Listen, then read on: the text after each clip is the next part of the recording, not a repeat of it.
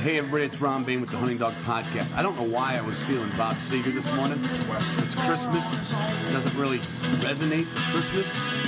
Although he does have like a little drummer voice on, but I, I, didn't, I didn't look it up. I love this song. This is this is the shit we listened to when I was cruising around with all my buddies in the 70s.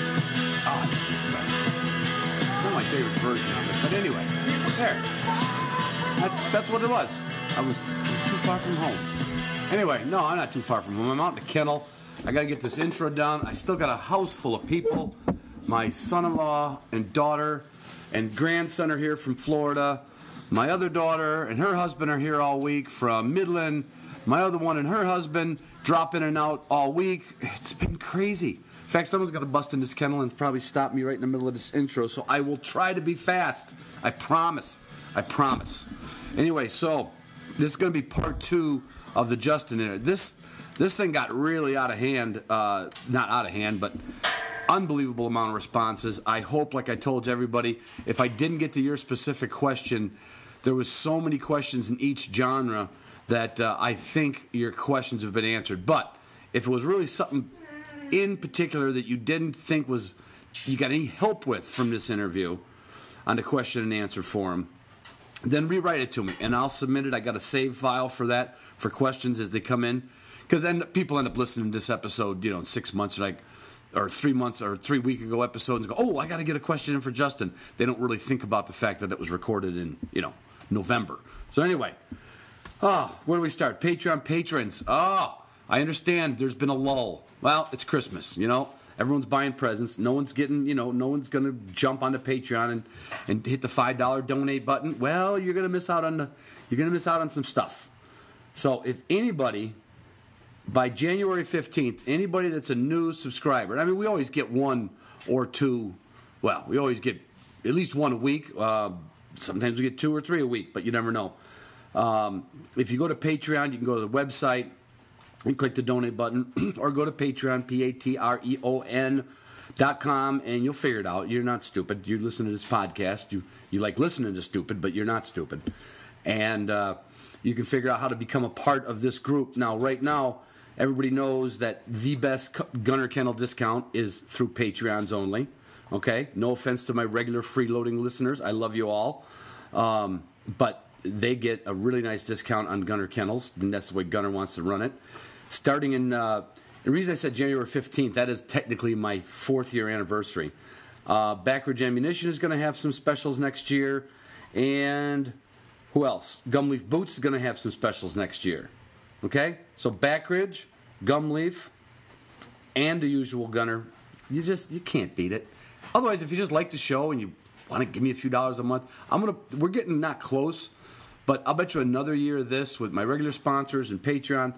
Uh, I'll be able to take this show on the road for almost every episode. Now that ain't exciting. Whew, boy, is that thicker than thicker than anything. Anyway, so let's just run down them. Everyone knows I feed Purina. Everyone knows Purina feeds my dogs, and everyone knows that I've been feeding Purina for 25 years, way before I started the podcast. Glad to have them on board.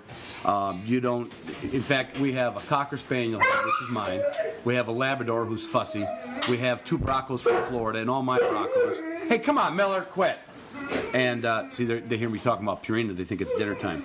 And they're all eating my food. They had no problem eating my food. Truth be told, I instructed my kids, you better feed Purina. But it's like kind of nice. They come here, it's like going to Justin's kennel. All dogs get Purina Pro Plan, period. That's all they get. And, oh, come on, please. I'm trying to get. God, I love doing this in the kennel because I can smoke and drink. And of course, I'm not drinking yet. It's Sunday. What is it? Almost 1 o'clock on Sunday. Um, Anyway, what was I saying? Oh yeah, Purina. That's what everybody feeds. You feed it. I feed it. Gunner Kennels. You. Everybody knows how important my my association is with them and their discount and this safety for your dogs. Um, don't don't think you're safe without that. Yeah, I knew what I was going to say. I got my my son-in-law came in with a bunch of fish heads. They went fish. My son-in-law from Florida wanted to go ice fishing with his brother-in-law and one of the kids that grew up with my daughters. And they went ice fishing this morning. I thought that Flo- Florida boy was going to freeze his ass off, but you know when the fish are biting, it don't don't really matter how cold it is. Got all thrown off there. Anyway, so with all these extra dogs, we have more dogs here than we can hold. I took two gunner kennel, large gunner kennels, brought them in the house because his two dogs are house dogs, although they can stay in the kennel. His two Braccos, so they sleep in their gunner kennels in the house, and across the top of them because it's tall enough to keep it away from the grandkid.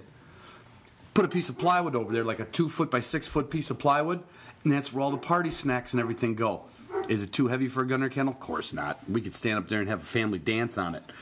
Uh, but anyway, so see, they come in handy for end tables sometimes. So you know, think about it. Beretta shotguns. We shot the A500 yesterday with Backridge paper number sixes. I, I don't know if it was the gun or the shells. I'm going to say it was both, but I, I, had the two boys shoot it. I shot it a bunch, and uh, we're going to go to a uh, preserve tomorrow. We're going to go hit a preserve uh, just because you know we want to get some birds for a, for a big dinner, and uh, we can't find enough pheasants around here, and there ain't enough grouse. And these two guys, trust me, I can barely hit a grouse. Neither one of them can hit a grouse if they were standing inside of a house and was sitting on a shelf. So uh, we're going to go to preserve, and we're going to be shooting all my Berettas and all Backridge ammunition for the entire time. Good Lord, where does that leave me? Okay, Orion Coolers, I'm sorry you're not getting the workout you should. They're on the porch, everything's in it. We didn't have to put ice in it because it's just, just the perfect temperature. But all the pop, all the beer, everything's in an Orion Cooler. Everybody's, I'm using them to sit on in the morning because I got to go outside with my coffee and smoke, and they won't let me smoke in the house. And so there, Orion Coolers is now my lawn chair out in the, out in the breezeway. onX Maps, we've been playing with that. Um, in fact, I was showing my neighbor the other day. Uh, Dale Workman was over at Jerry's. We were cutting some wood, and he wanted me to show him the, the app on the phone. And Dale was like, "Cool, let me see it." Now, you know, Dale's like 75 years old. Jerry's 71. And I look at it, and he goes, "No, that's that's not my property. No, it's not." And I said, "Yes, it is. It's right there. You're next to Brock Roseman." He goes, "Yeah, but that's not my property because it doesn't show the cemetery next to it." I said, "Well, it doesn't show the cemetery, but it shows your." She goes, "He goes, that's not my name." Well, it was his property, duh, Dale, was already put into his two daughters' names, and you know they got the names backwards. And it, ding, you know, Dale, we blew it up, and it turns out he's parking a bunch of junk on state land, literally owned by the cemetery. I showed him the, the orange property line. I go, okay, Dale, if that building's pretty close, you got about four semis parked into the woods. It's not on your property. I'm going to call the police. I'm going to call the township on you. Fire. Uh, onX Maps probably used by law enforcement. Mountain Ops, everybody's been drinking the crap out of it. My Ignite's going like my Miller Lite. I don't know what's going faster. And Gumleaf boots, actually, nobody's wearing them right now because it's just too darn cold. So there. Everybody, we're done. Told you. 15, 16 minutes of me blabbering on, and we'll be all set. GPS, but I got one collar giving me troubles right now. Uh, okay, we are live, Justin. Hey, everybody, I am back for part two of questions and answers with Justin McGrail at Black Creek Dog Training Center. Got that right Good, in one you sentence. did. You were on I introduced my today. guest yesterday with the wrong. screwed that one right up live. so, anyway, which one are we? What are we going to start with here, Justin? Oh, let's get this. This is a long Th- one. Let's knock is- that one out first. Oh, oh my God! I didn't read this much in grade school, and I know who this is from. You know the guy? Yeah. Perfect. Okay. Thanks a lot, Doug. Uh, myself included, and many friends, younger, less experienced, retrieving trialers and hunters have experienced a dog in in both instances, Hungarian wire. Uh, be a super pup and retrieve anything but common problems faced and suggestions. Pup grandstanding and parading with a bumper later turned into retrieve that every time he runs a few feet past me, then comes back. How do I improve this? Number two, moving on from bumpers with my dog and friends, same breed, both. Should I keep reading it, or do you That's want to your answer? buddy's typing, probably. Yeah, that's my buddy's type. Yeah, he's worse than I. He's good with Instagram, but I'm telling you what, he, he, he Mrs. Coughlin would have a problem with him, Ah. my seventh grade English teacher. I think a third grade teacher would have a problem with. Uh, experiencing refusals on birds. Sometimes the dog beelines 100 miles an hour toward the pigeon in training or competition, just stands over it, almost as if to say, "You want me to pick that up? I just want to find the bird." I was wondering, is this because there was no hold and carry or force fetching, or just pure lack of introduction to holding various items, fur or feather? Okay. Want to stop there? Yeah. Okay, so I'm slightly confused. Is this the same dog that It's- delivers bumpers, but goes a couple feet past them, and he wants Yeah, to improve sounds it. like it, yeah. but he won't pick up birds. Right. Okay, so he doesn't going a couple feet past you and coming back, still holding the bumper. That's a pretty nice retrieve. That's not so bad. That's too bad. Yeah, attaboy, good job. Take it from him. Maybe not He- the trialing world. he should not feel. No, I think that's going to fly uh, in the majority Okay. of, of things. You know, Okay. if it truly is a couple feet past him and comes back still holding Right. it, that's a nice retrieve. There's not. He's gotten. He should not. If this is the same dog we're talking about, Right. I'm not worried about that. We got dogs not picking up birds, right? Right. He says standing over birds. Standing so over there's birds. your concern, not Yeah. going just a couple feet past you Right. and everything. Right. See this all the time. My dogs retrieve sticks I throw. My dog retrieves balls I throw in the yard and around Mm-hmm. The house. But when I hunt, he doesn't retrieve birds. Right. If that dog is in his first season, keep hunting. He's demonstrating that he has retrieving instinct, but the dead bird is so different than the objects he's grown up with Yep. that it's new. And so you're not seeing what he's going to do throughout his life. Right. You're just seeing the very beginnings of his first experiences with shot birds. And many times, if I'm seeing the retrieving instinct in other areas, Right. just keep hunting, keep shooting Well, birds, and on, let on it that note, what Yeah. that little story you told me when we let Taffy out? Yeah. Your cocker. Yeah. You said her first bird retrieves. She We're not retrieves. They were ta- they, were, the runaway with the bird They in her were mouth, the 100 absolute yards, in the- polar opposite of a retrieve. except the fact that she was going somewhere with a bird in her mouth that was 100 Right. yards in the opposite She would carry him completely away from me and lay, and then set him down and just play with him. and and you your your line of action was what?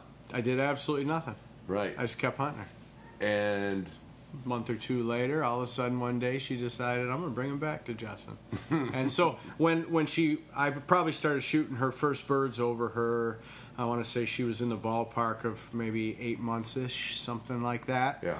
um, maybe seven, and uh, I didn't worry about it. It was in the winter. I was getting ready to hit the road. I just mm-hmm. hunted her throughout the winter, and lo and behold, she started to retrieve because I knew the genetics were there. Right. And that was just, holy cow! I got my mouth on the coolest thing. I've ever had my mouth on a dead bird. Yeah. And she wanted it all for herself. And she didn't want to share her little prize. Right. And I let her have that. Yeah. I let her go through that and come to realize, okay, this isn't the only bird I'm ever going to have in my life. It's okay. As Yeah. a kid would say, that's not the first Playboy magazine I'm going to get to see. Eventually, I'll be old enough to buy them on my own. So You I- like that analogy. I love that. You always talk about Playboy.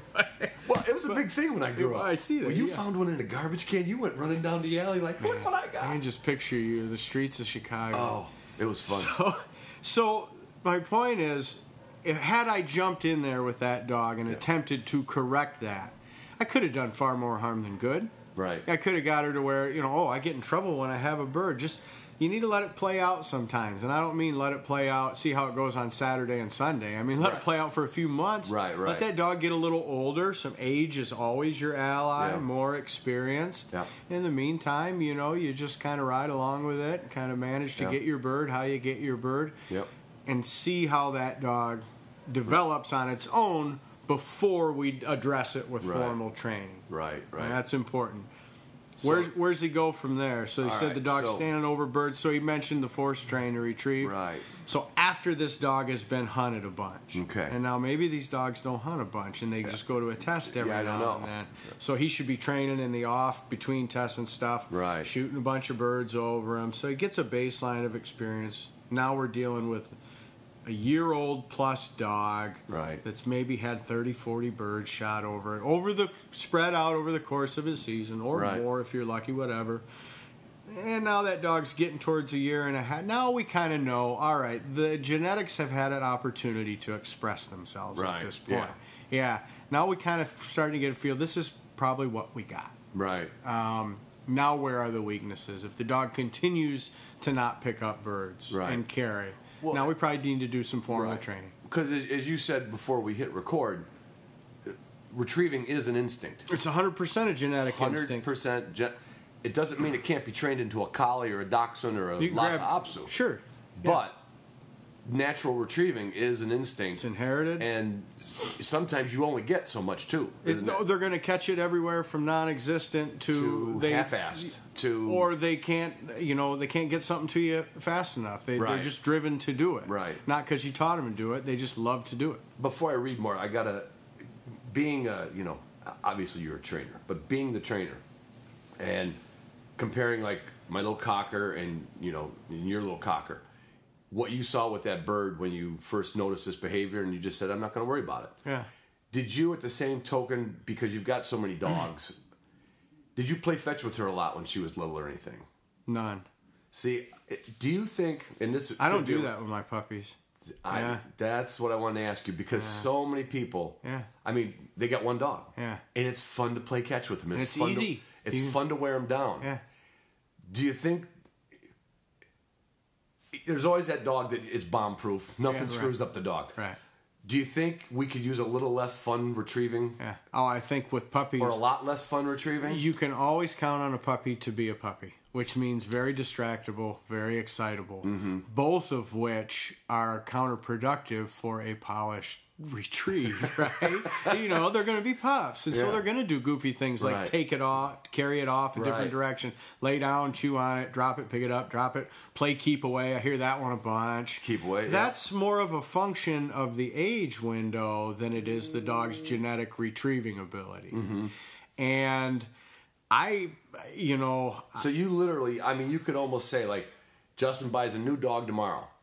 You're not spending. You're spending zero time playing retrieve games with him when never. he's a puppy. I got a six and a seven month old pup back there. I've Your never seen a retrieving. spent- I mean, I don't worry about it till I start shooting birds over. So you're you're just want to get them out in the fields I and, and expose them to other things. Well, my number one, and again, we need to train our dogs for what we do with them, and we don't all do the same No, thing. obviously. So I'm a big wild bird guy. Right. So the number one for me is developing bird finding ability. That's my number one. I Yeah. need a bird finder. Right. I didn't just go put them out there. I don't walk dogs from bird. I need a dog and go out there and find them. Right. So developing those instincts in the dog, use of its nose, recognizing areas. That's hallmark that- with that- you. That's Yeah. that's number one for me. I Yeah. can I can worry about that retrieve later once that dog's finding, pointing birds, you know, producing shooting opportunities, and actually creating the need for the retrieve. Right, right. Okay, now we're going to worry about that. Right. You know, and I'm going to say worry about it, but now we're going to start to get a feel for what we have genetically, and of Right. course, by then, most of the time, those dogs are now approaching a year old, usually, and Yeah. something, and so you're not fighting that five month old want to do all these other things but bring it back to you. I tell people if it's not going every now and then you latch onto a puppy that wants nothing more than to bring it to you. Right. But if that's not what you're seeing in your puppy retrieving games, back burner. Yeah, it's not. it's not important right now. Yeah. And often you're just creating bad habits. Yeah, Yeah. and because we all we all you know we teach our dogs a bunch of bad habits without even knowing it, and that can be one of the things we're doing. Sure. Too I much wrote- retrieving, One guy wrote me the other day, and I didn't didn't print it off, and he he said is he said getting a new dog, first dog, blames the podcast on it. You know, he's going to get into this, and his question was. Is playing tug of war bad for a puppy with the kids?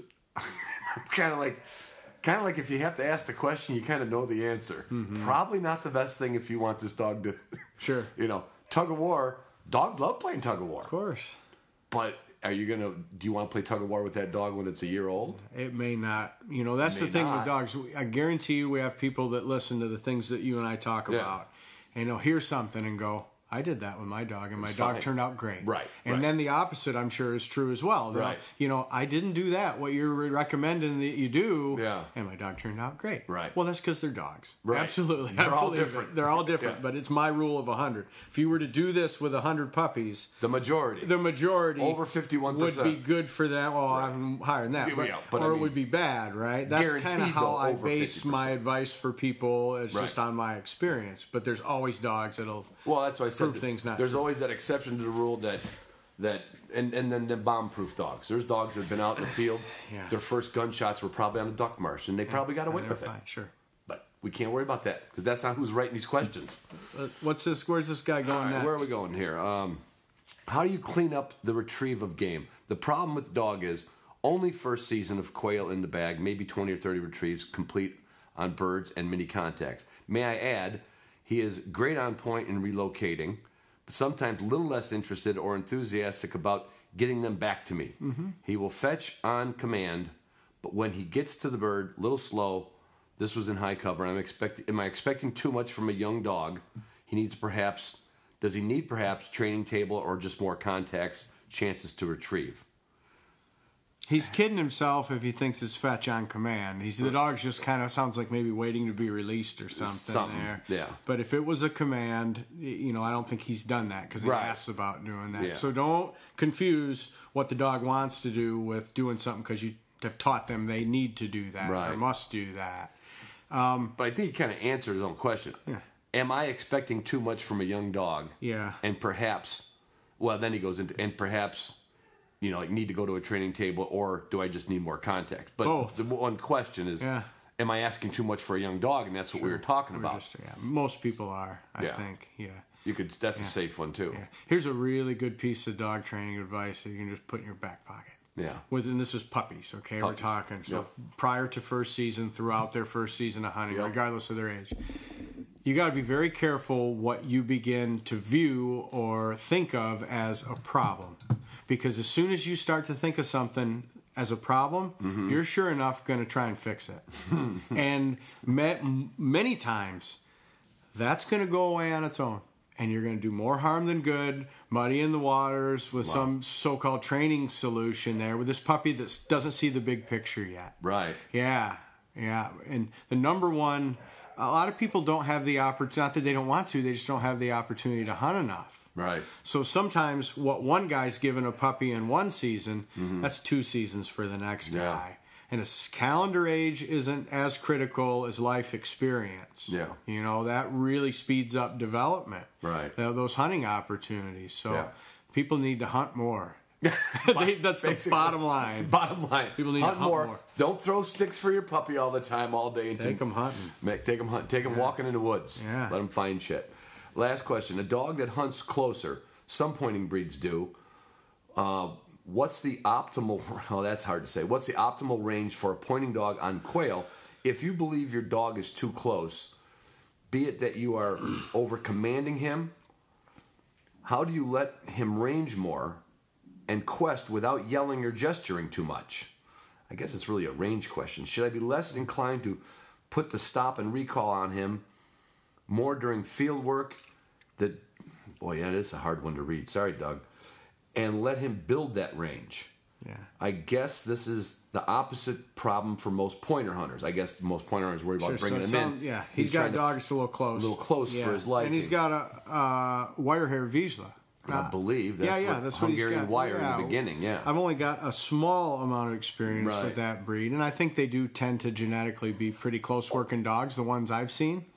And uh, so, Oh, I gotta make a I gotta make a, You got- a fix here. okay, fix it. I think this is because it's Doug's email address. Because I knew when you said that, I'm like, oh, Doug doesn't have a Hungary. So this is a question not from Doug. Sorry, Doug. Retyped by Doug. Retyped maybe. by Doug. So my apologies, Gotcha. Doug. So anyway, yes, you're right. Okay. Um, back to that. Too Yes. may- maybe too close, maybe not too so close. yeah, so any breed, you know, they hunt um, as they're driven to by their ancestors. So some dogs, that is their natural hunting style, is to be pretty close working. Yeah. A couple of those uh, wire haired Vizslas that I have seen very much are out of that mold. Really? close working Okay. dogs. Um, you can't. He talked about commanding and gesturing. Right. You're not going to command and gesture your dog into covering more ground. Right. You're not going to do that. The only It's gotta come from within. It's got to come from within. Yeah. More hunting. So the cover is certainly going to dictate that, Mm-hmm. but you can't. That's the uh, people have said this since there were bird hunters and pointing dogs. You can rein them in, but you can't make them. Can't make 'em go Make them go out. Yeah. Sometimes running with a brace mate in really open country Yeah. will encourage them to go out a little Right. further. If you want more range, then yeah, back off the handling. Anytime you know they go to Yeah. show a little more initiative, shut up and let them go. Yeah, You know? I, I see that so much in natural ability tests. First time owner, he literally is afraid that his dog, and we've been waiting five minutes to see the dog do some independent work. Yeah. And as soon as that dog gets 50, 80 yards, and oh, I'm on my scorecard, like, dog's finally making first good cast at three minutes. Mm-hmm. I catch the handler going, Shh, Yeah. And now you realize that's what he's been doing with this dog. So, of course, the start of the hunt's always slow because the dog's like, I can't go anywhere. He keeps calling me back in, you know? Well, in your in the situation that you're talking about there, it's probably twice as bad when he's by himself because he's nervous and, Right, and it's the test, Right. You know, And so, but we're always telling him, say, you know what, like, it's okay, but Yeah. let's not talk to the dog for five minutes. So I want to see. And then we'll sometimes see that dog. So sometimes people just overhandle it, over worry it. Yeah. But I guess just to wrap it, he just sent, he was, I think we've answered it. yeah, Um, I guess the opposite problem from I find a dog working fine in taller cover because he doesn't mind it being close, but in shorter cover would like more distance. So sometimes you, like you said, you're going to get the package that came with it. And he says, "Excuse my ignorance, but is this a maturity or experience thing?" Well, I think we answered it. It's Yeah. probably a genetic thing, it could be. And then some experience. The, the the more you can get out there, like you just said, the more you can get out and hunt that dog, then you're going to know if it is what the dog is. that's what's required for the genetics to come to their potential. You've got to get them out. there. Yeah. Can't go once a month. Can't go No. once a year. No. You got to get it out. You got to hit it hard, Yeah. and then you'll know what you got. Yeah, and life is what it is. You can go when you can go. It's a matter of your expectations for your dog Right. being in line with what you're putting into Yeah. this. Yep. If you're giving this 25% commitment, don't expect your dog to be just a knockout. Yeah. Um, and it takes a lot of time. I think a lot of new newer owners to dogs um, don't realize that you know this is all going to come together a lot of times between two and three years old. Yeah. And look at how many of these questions are Yeah. dogs between five and eight months old. I know. You It's almost like They're just, they're like, oh, it's it's not there yet. Yeah, I'm like, well, it's not It's be okay. there That's yet. normal. Yeah, Yeah. yeah. Uh, question for Justin. I live in western South Dakota. Good Nice. spot to live if you're a bird hunter. I mostly hunt upland, some waterfowl. I have a three-year-old small Munsterlander female. My question is about retrieving. I know she can do it. She had a wonderful natural retrieve at six months. Again, we don't know if that was on birds or bumpers. Yeah. Uh, she had an excellent retrieve at six months. We got a few months of hunting in when she was a pup, but second year out, she would not bring birds back. She would, however, bring birds back in the water. They, I would always say they tend to do that. They don't leave them in the water. Um, when other do- and, and when other dogs were around, that's competition. Uh, and she had continued to do that last year and this year. My question is, what drills could I use to help her figure out that bringing back, bringing birds back when she is by herself and on land? What drills could I use? Uh, she's she's great at finding the down birds and standing by them, mouthing them a little bit until I'm able to get to her. I know she can do it, but is she just deciding that she wants? It's just her deciding that she wants to do it. Well, just because you know it doesn't mean she knows it. But um, that's anthropomorphication of, of of critters. It's a big word I used, isn't it? It is. You know what that means? I do. Okay. If the oh, if the listeners don't know, that means putting human characteristics into our canine friends. Yes. She'll also bring back bumpers when I'm in training, but the training is just myself, um, reading articles from trainers and listening to podcasts. Uh, never professional trained. Uh, she's a great pointer tracker, which I've never seen a Munsterlander that wasn't a good tracker. Um, listens well, but she could just she'd rather just keep looking for birds than bringing them back. Any advice would be great. Yeah, it's not uncommon, even amongst all the pointing breeds, Right. to be What'd exactly in this, guys. Yeah, one out of three. Yeah. you know, pretty good natural retrievers. But that the rest of them, much like this, Right. are recovering, helping you recover your bird. They're fine. They're hunting dead. They're finding it, locating the bird for you. So the guy can be happy with what he's got. He's got a dog that hunts, finds, points, tracks birds. Mm-hmm. finds the down bird and everything, and he walks over there. As long as his back is good, he can bend over and pick it up. I- now, if it's important to him, Right. if it's really a priority, if he's going to go the rest of this dog's life go, going, I, I really wish this, I can't stand this. Right. It's driving me crazy. Right. Okay, then he's going to have to train it. Right. It sounds like that dog's had a fair amount of experience. Yeah, You know, and he lives South in, Dakota. yeah, right. And so uh, we're not going to burn the rest of our time here with the Right. ins and outs of the trained retrieve, but that's that's the route he needs to go. That's go. a place where, especially again, he's not a puppy anymore. We're not worrying about a puppy. Nope. We're worrying about a dog that had a lot of wild bird contact. like second season dog. Second season. Yeah. And Yeah. so now it's time to Yeah. either, you know, if you Yeah. can't do it and it sounds like he's only used Yeah. media to to learn, maybe try to find a good trainer. that can work hands on because the problem with the trained retrieve videos and stuff is every dog is so different Yeah. and there's predictable glitches in that process that an experienced guy knows is coming Right. and can prep the dog for those little hurdles that are definitely coming you did my job for me you answered the you know he's kind of like i know she can do it Water, they don't have any other choice. They got to abandon it or bring it back. Right, and they don't wanna dog, abandon They don't it. want to abandon. Not if they're No. any good. No, Right, and uh-uh. then they get to shore and they spit And it they out. can't stand over because they'll sink. They cannot tread water for very long. Not in one spot. Not very long. Not very long. They got to a dog treading letter usually involves forward movement. Right, right. Yeah, so, really. so the dog has two choices: abandon it or bring it in. And he doesn't want it. So it's a good want it. dog. Doesn't want to abandon game. Right, That is a exactly. sin of the highest order. And then, right, it should be. And then um, the other one with another dog around. Well, I don't want that other dog to have it, so I'll grab it. But he's still clinging to that hope that I know she can do it. Right. And I, she just needs to decide to. Well, I think it's safe to say at this point he needs to make that a command and not a hope that she Right. will decide to do it. And then do it do it carefully and correctly. Absolutely. And we can't get into all that. Yeah. But yeah. If yeah, if you're not certain on what you're doing, um, consult, Ron get, get some help. Yeah. I'll find somebody for you. Oh, here. This- This, is well, we're still kind of loosely on wire-haired visuals. Check Oh, that, check at- that question. out. Okay, quit. Uh, how to build confidence in blind line retrieves for a two-year-old wire-haired Vizsla. First full season of limited work working, fe- hunting pheasant, partridge, and other game birds in the UK. Yeah. Wow. Um, memories in the UK. Memories are strong. Multiple memories unto 200 yards. Steady and confident on picking up game and shot. Okay. How to build confidence in blind line retrieves for two Yeah. So, yeah, interesting, isn't Yeah. it? So UK, I had to kind of, and I hope I'm not making any wrong assumptions here.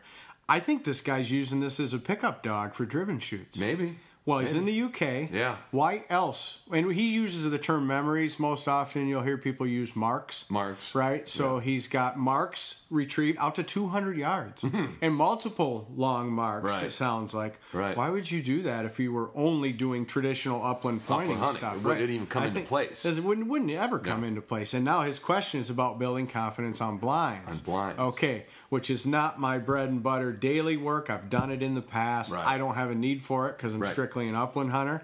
And when we get a long bird that falls, we hunt our way over there. Right. Um, right. But the one thing I can tell this guy, keep up the good work, you know. Um, so confidence in any kind of dog work comes from the dog being successful. Mm-hmm. So uh, we're not gonna get into it, but there's all kinds of very basic, rudimentary, initial training things that you can put a dog through to instill this, you know, Yeah. beginning stages of the blind retrieve. Yeah. And, and make sure you can't, he can't make them too easy in the Right. beginning because Right. confidence always stems from success. Easy's good. And slowly build that as the dog is successful. Right. Then gradually make it harder Right. and harder and harder Yeah. and harder. Never going too fast. Right. We don't want that dog to repeatedly fail.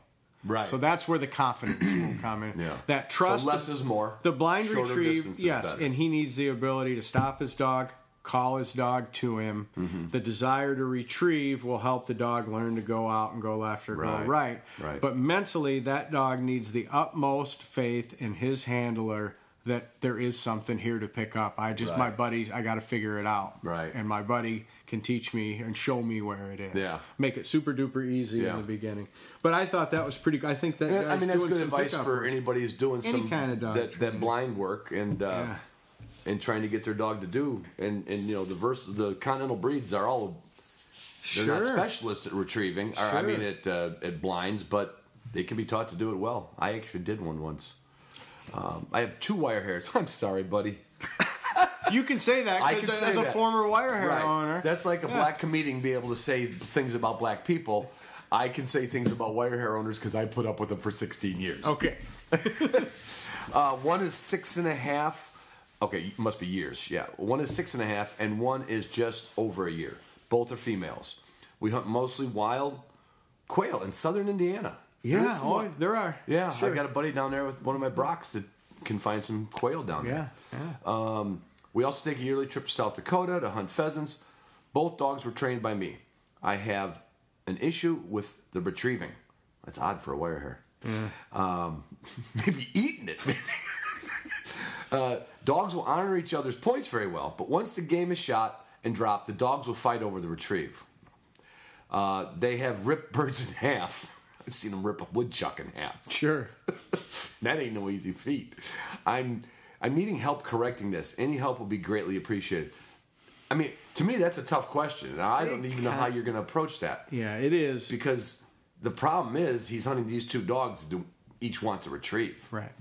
That's a toughie. So he can do it. I would make sure that his younger dog is hunted independently enough and gets the chance to develop its retrieving. Uh, so many people always hunt their dogs together. Together, yes. And sometimes that's not always for the betterment Beneficial. of the younger dog. And sometimes it's aggravating for the older dog, too. And you'll see behavior that you didn't see from your older dog when you bring that pup into Right. So the cure for this, though, we want to make sure that the younger dog understands that okay, retrieving in and of itself is not a bad thing. Right. And that's why I want that young dog to have some hunting all on its own. All on its own. He's no competition for the retrieve. Right. And then you can put them together, and you need to set this up in the beginning, and you really need to teach one dog when it's in that other dog's mouth.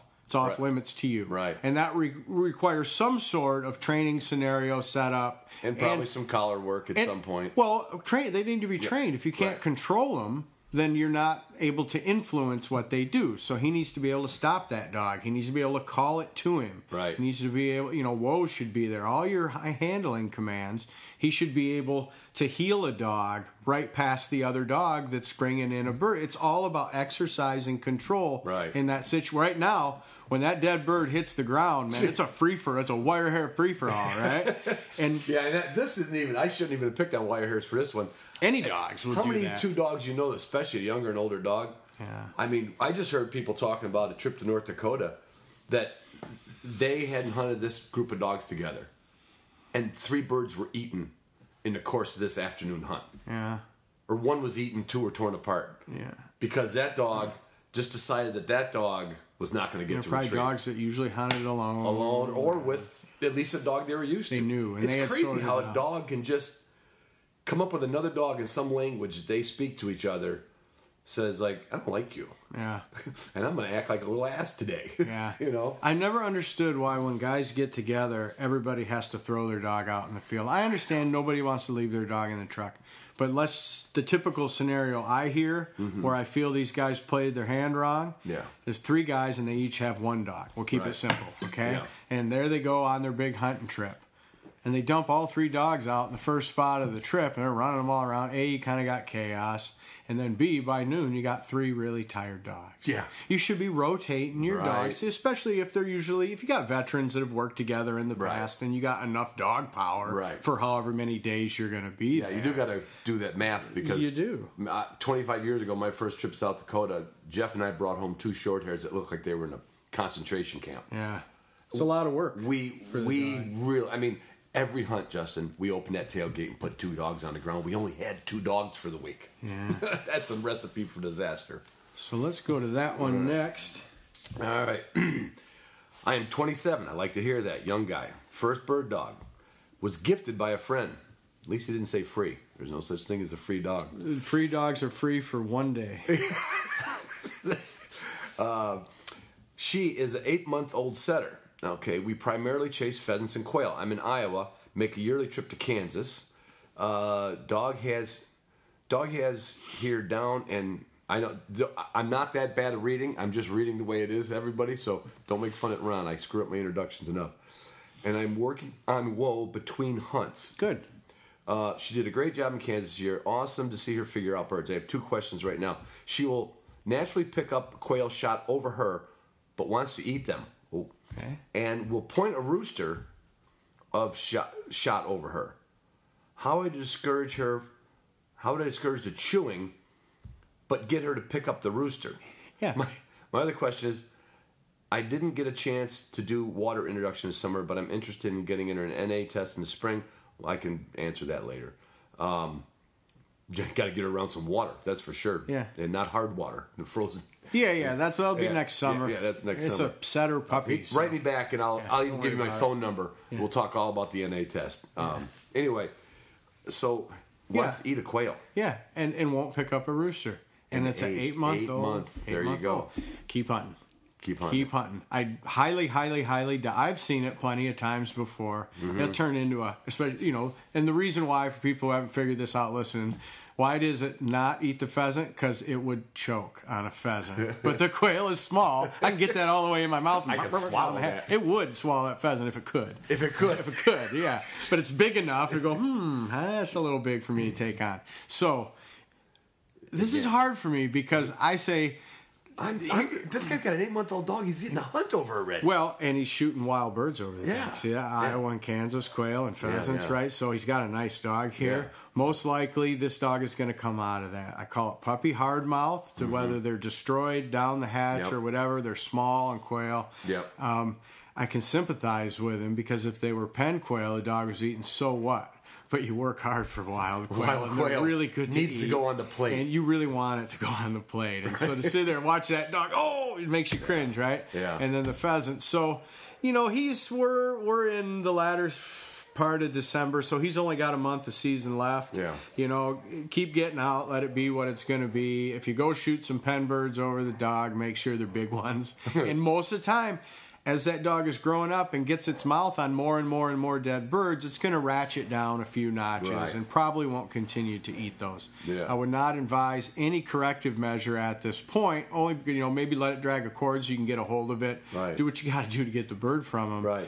Any reason he couldn't hunt with a check cord on in good open country? So my rule of thumb, and uh, no, it's fine. You can Mm-hmm. just. I want everybody. Anytime you're letting a dog in the field drag a check cord, you must, must, must have a way to locate that dog if he gets hung up. Right. And that means either a beeper collar or a GPS. Yeah. Okay. Yep. That's. The, I have found two check cords in my life hung up. And fortunately, neither of them had, and this was before GPS. Yeah. Neither of them had a dead dog on the end of them.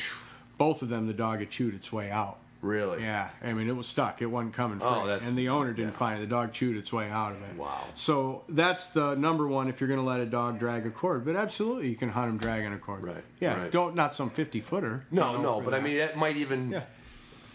When he's got again- something he can get a hold of. Got, yeah, exactly. And Yeah. like you said, not to correct and do anything, but just like gives you an option. If you get there and he's chewing the bird up, if nothing else, can diffuse the situation. Yeah, you got yeah. something to get a Yeah. hold of. 'Cause Because that's the kind of dog. at that point, calling its name, He's not it gonna ain't gonna to come. And that's also the kind of dog that when you got close, Yeah. he's probably gonna pick it up and take off. Right? Go the other way. Uh-uh. Right, Yeah. right. And he probably will start to pick up pheasants once he gets Yeah. older and has more experience Yeah. with it. So I found that was that, That one was interesting. because Never heard he that one wants kind of something right in the middle, right? right. Um, what do we got here? so hey, this is an interesting one. While we're on eating birds, Oh boy. Uh, breed, Brittany, level, age, six, level of training. My daughter taught him to sit. Uh, everything else has happened by accident. In all seriousness, worked on wing and whoa post, steady to flush, conditioned to e-collar, really only used stimulation to get him to come. Uh, he has never been a natural retriever. That, that happens. Uh, thought about force fetch training, but decided I probably didn't have the patience. Probably decided on the error on the side of caution. yeah, which is smart. He will he will hunt for dead birds, but you have to call him in and encourage him to do it. I had a short hair that didn't care about hunting dead birds. You know, she didn't want to go hunt again. She just wanted to go find another one. Uh, he will find them, and in the past, not even cared to pick them up until this more recent problem surfaced. Problem. Uh, just this year, he has decided to start eating birds. okay, see attached picture. I didn't get to see the picture. yes, this was a quail literally pulled from its throat. Not sure why this has started after all these years. Uh, how do I correct this? On the brighter side, she's never showed much interest in picking up a bird. Yeah. So now turn into an overachiever. I hate to correct him at this point. I like this guy. This I do too. Yeah, this guy's like Joe It average, doesn't seem right? like he's overreacting. No, like he's like I don't know. I don't well, he's just patience. going, where, where did this come from? Yeah, at, at six years old. And I'd be doing the same thing. wondering my. But you know, this guy is like, I like this salt to the earth bird hunter. Hey, I didn't really do a lot of training. Right. Yeah, I use a collar. Sometimes if he doesn't come, I bump him Daughter a little bit. when he was a puppy. He's learned, the dogs learn how to hunt and find and point birds. And uh, he says, you know, he's never been really good at hunting dead. In fact, he doesn't pick them up or anything. Been there before. And now, six years old, he's eating his birds. What the heck? Yeah. Yeah, it's not common at all. No. Very, very uncommon. Um, none of my that's one thing you know. I tell people you got to remember most of my time with people's dogs is when they're young, Yeah. and so I've never had any of my personal dogs pull this move.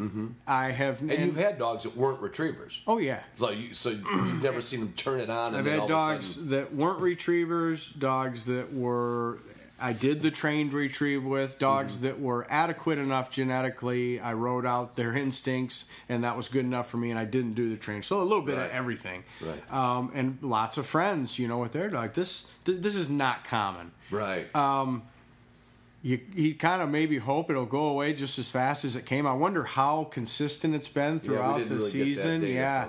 Yeah. Yeah. I remember, you know, maybe take this dog to the preserve and buy like 25 quail and go kill every one of them for him and let him eat his until he gets his fill. you know, I heard of a guy that did that. Oh, I know a couple guys that's what Wasn't they it do. in one of the books I read? I don't know. Yeah. Somebody just he goes, ah, have at it. yeah. So you know when It's like um, your dad making you smoke the whole pack of cigarettes. exactly When you you want to eat them, here you go. Make yourself you sick. want to be an adult, smoke Make that whole pack. yourself We'll sit down and sick. smoke. Yeah. Now, if he doesn't do that, and it doesn't, or he doesn't, I would and say it keep doesn't work, hydrogen peroxide on site in case you have to cause get him to vomit. get yeah. him to vomit. He really doesn't have anything to lose if the dog. I mean, we don't want to allow this dog to continue to destroy his game. No, that's a waste of game, Right, right? right. The dog already is not a retriever, Right. so he doesn't have anything to lose here. He's not worried about messing up a retrieve. Yeah. So with some perfect timing and a little bit of momentary tap on an e collar, if that dog grabs a bird and we soon, bam, that hard crunch tap Right. Tap. And then you know a little higher if it didn't register but that and you'll see oh that dog will spit that out Right. right we don't have anything Now to, he might go back to not picking up birds, but he didn't pick that's up what he birds did for six years. yeah we're not in, we're not backwards so at least we're teaching him deal. eating birds is not good. six years old we're doing a fudge job here to try and save his birds Right, yeah right. he already said he passed on the trained retrieve when he Right. was younger so if that's where he's approaching this i'm not going to advocate that Right. you know it doesn't sound like he wants to do that which is Right. fine Yeah. you know he's been getting along so there you go try and flood him with a bunch of pen quail Try it. see what that does for him if that doesn't work good timing on your little momentary taps on your collar should Yeah. get him to not mishandle him 'Cause he's done collar still not going to so, retrieve yeah. yeah so poor guy that's a rare one That is, uh, yeah. yeah Yeah, you're right. That quirky behavior is always shows around, you know, first season or second season. All of a sudden, you see things. So for your listeners, we got Mm-hmm. two. We're down to two piles. We got the retrieving pile, Okay. which we're making headway on here, and then we got the miscellaneous Miscellaneous. miscellaneous grab bag Oh. pile. You want to finish out the retrievings and go to Yeah, let's and then- miscellaneous? All right. Yeah, Here we go. Yeah, let's let's yeah let's go with retrieves. Yeah. Seven month old Drahthaar. And for those of you who don't know nothing, a Drahthaar is a German wirehair registered in Berlin through the GNA VDD. How's that for fancy right. analogies? Okay. We might have to hit pause here. Oh, Is it three o'clock? got- eh, it's 252. Does your- That's close enough in, Okay. in my world. We're going to come back to this one in just a few moments. All right, we're back at it. We had a little Braque Francais uh, break. dog, dog training break. Little dog training break. That was kind of nice. We should make that a habit. You know, Yeah. every ten questions or so, go work a dog. I might even really retain something. That would be really nice. That was a nice break. So, uh, all right, we got a seven month old Drahthaar. Obedience is decent and working on that daily. Has been exposed to pigeons and gunfire. When running a field, he does pretty good for his age. Stays in front for the most part. Always changes directions when I do. He's cooperative. Uh, issues I have is when I have shot birds or let him let him harass some winglock pigeons. He wants to eat them. I shot a duck the other day and he was kind of nervous about it and checked it out but didn't want to pick it up. Big deal. Seven month old again. Yep. You know? Uh, once I picked it up, he wanted it. he probably jumped after it. Uh, after fo- and following after me, I tossed it for him, and he ran and grabbed it, but he didn't want to bring it back. I didn't chase him. That's good. I just continued to walk away, and he would follow, but he wouldn't come close enough to give me the bird back. He then tried to hide the bird. is the issue obedience or just being young? Is the force fetch is is the or is the only fix force fetching?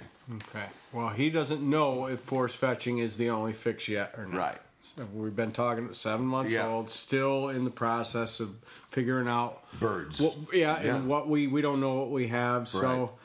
Natural to be a little possessive at that age. Yep. Uh, you know, hide it. I've seen. I've had dogs bury them. So that's an old gene to stash food. You know, I had mean, a literally. German breeder told me if you had a, dog, a female that buried game, don't Mm-hmm. breed it. That's how he felt about it. Well, sure, its offspring are going to do it too. yeah, isn't it something? Not not like every pup in the litter, but that is sure, weird. It's That an old gets- gene. I would have never guessed that. You'd be amazed how fast some of them can do it. I mean, you can't even get to them, and that's and they put the dirt over with their muzzle, and I mean the whole That's it. deal. Oh yeah, poof, poof, it's underground. I come back later, Yeah. feed my pups. They come it. out of that though, um, but sure, it's a genetic trait. So obedient. The training answer here is I would really start in preparation. I would start to really strengthen this dog's come when called. To include, you know, distractions and times where the dog would rather do things other Right. than come when called, slowly building obedience to come when called, because that very much is our friend in the retrieve, right? Right. So, um, and see how he comes along naturally. Waterfowl have a completely different smell than upland birds. I've seen it all the time. Dogs, their very first waterfowl, duck, you know. Mm-hmm. Yeah. Ooh, that is nothing like a quail or a grouse or a pheasant or anything. Yeah, yep. And it sounds like he got over that pretty quick. Yeah. Yeah. So keep hunting your pup, see what Yeah. happens. Let him trail a check cord if you have a hard time getting the bird from him, you know. Not to break it down too bad, but what do you think? And I've seen people do it. I've done it. Yeah. So I'm. I don't know good, bad, or indifferent. Like you know, like you always said, my Braccos. The one thing you can kind of count on is they retrieve. Pretty darn good you know, retrievers, yeah. My wire hairs back in the day, good retrievers. So I didn't. I gave them fun throws. Sure. Now, as you're out hunting, I never do it when I'm hunting. Yeah. Because I don't want to throw a grouse on the ground and lose the tail fan. but um, anything wrong with that? That given that fun retrieve of a of a dead bird in training? Oh, not at all. Okay. Not at all. And especially, you know, if you got that check cord there, Mm. because there's a couple little shorties we can do with the dog right after he got him, call him back into us, praise him and pet him, love him Yep. up, and then the hunt goes on. Yep. Yeah. Okay. Cool. Now, that retrieving, did we wrap No, retrieving? no, we oh, got, no, we're uh, still retrieving. Ah, we got a couple more, and then we're going to be done with All it. right, here's question eight and a half. We do have a lot of young dogs. Yeah. I'm glad though. Yeah. Maybe the, maybe in another year we won't get anything but uh, old dog questions. All these people have their dogs A lot of fixed. them sorted out by then. That's, Yeah. yeah. Uh, eight and a half month old Cesky Fousek. Faustic. I always heard it pronounced. I'm not even sure how to pronounce it. It's to me, I, I call it a German wire hair from Czechoslovakia. Okay, Faustic. They look like one anyway. They do. Uh, and I believe they are bred with them. I don't know that. Um, which is a wire-haired pointing breed from Czechoslovakia. I didn't even read the rest of the sentence. Since I got him at 10 weeks old, I've been doing all the obedience and retrieving training. He has plenty of game drive, finds birds, although he hasn't started pointing yet. Okay, he's young. Uh, my challenge is getting him to retrieve a bird after the shot. He finds that he finds a down bird with no problem, even comes near me, but doesn't want to give it up. He's mouthing the bird, but not biting hard on it. He's not bite, but not biting hard at it and destroying it. I always have some treats with me uh, to reward him, but it's not enough to override his desire to hold the bird. And by the way, he retrieves dummies during training just fine. To a lesser extent, frozen birds. He is young, so I want to keep it positive with no negatives associations. Any tips? My first tip is why are you shooting birds? The dog's not pointing. Ooh. If he's yeah, I mean he shouldn't be killing those birds. Why would the dog start pointing? This is working pretty good. Yeah. Yeah, finding them and flushing them. So Mm. yeah. he, I would confine his retrieving to retrieving dummies. You know, Yeah. it sounds like dog's got a lot of retrieving instinct. You know, he's nitpicking him a little bit on the delivery, but again, right, we right. got a months or eight months, seven month, whatever it is. Right. Yeah, we got a puppy on our hands here. Yeah. Sounds like the framework for a good natural retrieve is there, but he talks about shooting birds, and he says the dog is not pointing yet. Yeah. So that's where I would not agree with what he's doing Right. here and say, hey, you need to hold off killing these game birds or pigeon or whatever he's using Right. until you start getting some pointing going on here. Right, right. And and that should come in time, but not if you keep killing birds that Well, he's running in and flushing. That's that's what the dog thinks everything is right. It's working. Yeah, yeah. yeah. and we don't know how much point So this his dog retrieving really has. isn't much of a problem. No. But if he is shooting boy, if you got a pointing dog and you're shooting birds that aren't pointed, Yeah. Like if I owned this dog, I wouldn't know how he retrieved yet or not because I Right. wouldn't have shot a single bird over him yet. right. He's, yeah. he's gonna have to show me a point. Yeah, we're gonna have to start pointing show me a birds point before first. we're shooting anything. So that would be my advice to Yeah. that guy. Worry about the pointing first, Yeah. and see what comes on there. Uh, uh, uh, so these two, let's do that one first. All right. Uh, hey, my name is Evan. I live in Maine. Nine month old German short hair pointer. The dog has a great mm. recall to come, and a desire to retrieve is definitely there. But whenever I throw a bumper or a dummy, he brings it back and won't even look at me to give it back. I wait there petting him, praising him, but it takes at least 10 minutes till he's almost choking on it till he gives it up. With that, I put him on a training table and started with my hands in his mouth, and he released when I gave the command. Okay, he releases the bumpers on the table when I tell him to.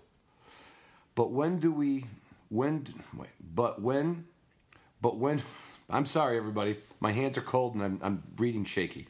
Uh, but when we do a retrieve in the field, he will not give it up. I made sure to never tug anything out of his mouth when he was little.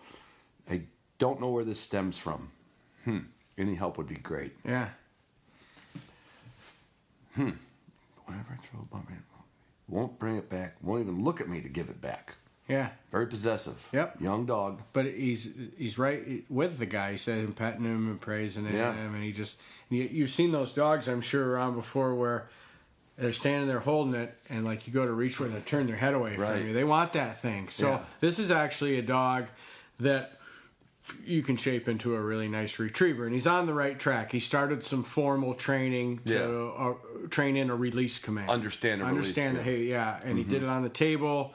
Started the old gloved hand in the dog's mouth, and Yeah. then a dummy. But when we go to the field, you know, we got a different dog on our hands. That's because that dog's kind of got like the you know eye of the tiger, right? He's a predator. Yeah. this is different. Than We're at my turf now. Yeah, and, and that's good. I like dogs that have that component Yeah. in them. You know, they want it and they want it bad. Yeah. Um, I'm trying to think because I'm on the home stretch and don't have a lot of training dogs in here. There is a way you can get a dog to drop something on command, and I don't know if you've seen it before with a little lift up on the flank by the Oh, yeah. rear leg and I the call it a twister. Well, yeah, but I don't actually twist it. Well- you just lift straight up on that, and they're kind of open. Now there's you gotta you gotta do that with some tact and, and finesse because Right. too much is not good, not enough they won't spit it out. Right. And there's a way that you know, there's a right with just like everything with dog training. You know, Mm-hmm. I would be more comfortable if I had the right dog here and say, "Hey, grab your phone and just video this for Right. five minutes, and we'll show it to everybody." Yeah. I'm racking my brain. I don't think I have the right dog here that has this particular Right. trait. Right. They're just kind of sticky with them. You know, they got it. They got a real firm hold on, it, and they don't want to give it up. right. But that's what I do with those dogs. Yeah. And a, I've a done little repetition of that, and you can get to where you got them next to you. They're holding it, praising and pet them, and Right. you so much as touch them back there by the flank, give or Yeah. whatever your command is. I Out broke up comes. dog fights with it. Yeah, yeah. So what people don't understand, and I, I, I don't want you to just try it at home. No, that's Uh, but it, it what you know I call it a, a, a twister, but that's because I've actually broke a dog fight up with it. Yeah. But yeah, if you reach under a dog's skirt, let's say by a boy dog, there's a little skirt of skin. their flank where where flank. the rear neck cl- Right. connects to their abdomen. Right. Yeah. That skin under there is more sensitive, and you kind of grab it and pull up on it. Pull up on Just it. Just pull up And you on gotta it a know your bit. dog. Some dogs are more dogs- sensitive than others. You know, I've had dog- some dogs, their back feet will actually come off the ground, you know, before they spit that out. Right. I'm not yanking them. It's just a slow but steady lift until they go, oh, open Yeah. their mouth and spit that out. And I would do it first back on his table. Absolutely. With the bumper and get that timing down. yes. On the table, you can kind of, ha- you know, I use this short little street lead, like a little 18 inch lead. So the dog's always connected Yeah. by 18 inches. Yeah. So I, I can reach his groin and I can reach his collar. My other hand can be on his bumper. Mm-hmm. And if I can't get it out, that's when I go and reach there. Yeah. And it's just like the co- he's learning to turn the pressure off again. Exactly. So you- you're pulling up on that skin. He doesn't like it. Right. As soon as the And it's real, out. the reason he's letting go, it's like almost thinking about turning around and seeing who's who's, Hey, well, he's who's opening messing his, with me. He's opening his mouth to kind of say, ah, Hey. that, that gets uncomfortable. and a lot of times he'll turn and look. Right. And Yeah. He's like, "What's that? What are you doing?" yeah. And that's an area that And then as soon as the object's out, pressure's off. and use the word out. Uh, out or whatever yeah, you want. yeah. I mean, don't forget to do that too because release, your yeah. training, it can it can be just like a collar. It can be out, As you're pulling on, up on pressure off. Yeah. Yeah. And so, that again, little- as as redneck as it sounds, Mm-hmm. right? This is actually kind of finesse dog training here because you do it wrong, you're gonna make a mess. Mm. Right. Uh, and so, if you're uncomfortable with what you were describing, if Right. you if you could put your eyes on it, it would make sense. Right. You know what I mean? Maybe in the spring, Sooner or later, I'll have a dog here. I'll come I over and I'll film it. Yeah. and I'll just send it to people who need it. yeah. There you go. so here's how you I'll get on that. Get I'll that out of the I mouth. Okay, last retrieving. Last- not that there may not be some retrieving stuff lurking in the miscellaneous, miscellaneous pile, pile, but the grab this is the last one that's officially All right. in the retrieving pile. Probably a little late to the game for Justin questions. Mm. Nope, we squeezed you in, but I'll give it a go. I came into hunting the hunting game late in life. Eastern Pennsylvania only stocked birds. Started hunting birds around 23 years old. Was hooked since day one. In March of this year, I got my first German Shorthair Pointer. Uh, he was almost he was almost three years old. 60, I'm guess point pound, right? 60 Yeah, 60. 60 pound ticked GSP. Okay, we didn't need that much information, but I appreciate it. Current owner with two small children say he could no longer keep him. Okay, that's why he got him at three. Uh, we went to check him out. Long story, ended up with my girlfriend and I. Had a prior e-collar training and shed training. The e-collar was very obviously once I got him. Have yet to try shed hunting. Started him on basic obedience, recall, retrieves to start with, then reinforced with e-collar. After picking up our next GSP for the family in August, we introduced him to pen raised birds. First showed him showed him and gained interest, but then with birds in the field and eventually birds and traps. I did I did forget he had no intro to guns and how he acted around fireworks. I feared a gun shy dog. Then we slowly introduced him to starter pistols. Good to go. Uh, he retrieved well. Would leave the bird when I say leave it. Okay. Once pheasant, season started, um, he essentially went above and beyond anything I expected out of the dog that seemed to be abused and kenneled the majority of his life. So I guess he was shocked at how good he came out. I, I'm getting this confused with then after picking up our next GSP pup. I'm sorry. I'm. Are you tracking with this one? Well, keep going. Okay. So here's my question. Since hunting him this season, his leave it has gone out the window. He will still bring it to me, but he rolls the bird in his hard mouth, leading to me, needing to pry it out of his mouth. Okay. Is there anything I can do to help this? I honestly happy with the dog. Other, I'm honestly happy with the dog. Otherwise, just be nice that if he would retrieve back and hand and release it for me. Yeah. So same, thing we just talked about. thing. That would be my first course of action. Yep. And if that doesn't get it done, then we would look at something else. But the first thing I would do, same exact thing as the last guy. Yep. I just thought it'd be easier if we. Yep. No, you're right, and it's funny that it's a common. Here's two dogs in a row that are like, Oh yeah. I don't want to open my mouth and give So, it to you. so we got everything. Dogs don't pick them up. Dogs eat them. Dogs bring them back and don't want to give them up. And all these little nuances of retrieving. Okay, now we're to the miscellaneous.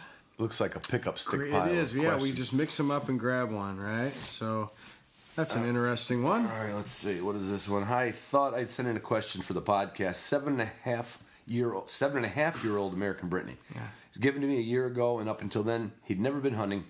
Had only been kept as a house pet. I live in the Flint Hills of Kansas and chase bobwhites most of the time in big open country with thicker covered draws here and there. I got him with about a month left after the season last year.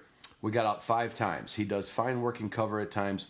Points birds, wow, points birds, and have been able to get him to hold his points.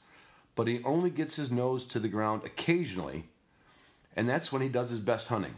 The majority of the time, he seems to be just having fun running around and will occasionally run through a covey or flush them. Oh, and flush them. Okay. 'Cause That could be the wind's the wrong way. But um, I'm wondering if there's any exercise that could help to, to get his nose going more, or if wait a minute. I'm wondering if there's any exercise that could that could help him get his nose going more, or if it's just a thing I need to get him out on more birds and he'll figure it out, or do I need to accept the fact that he's going to be that way? His training at this point is just obedience training and does well. Great pet, uh, but I also wanted a Brittany for hunting. Yeah.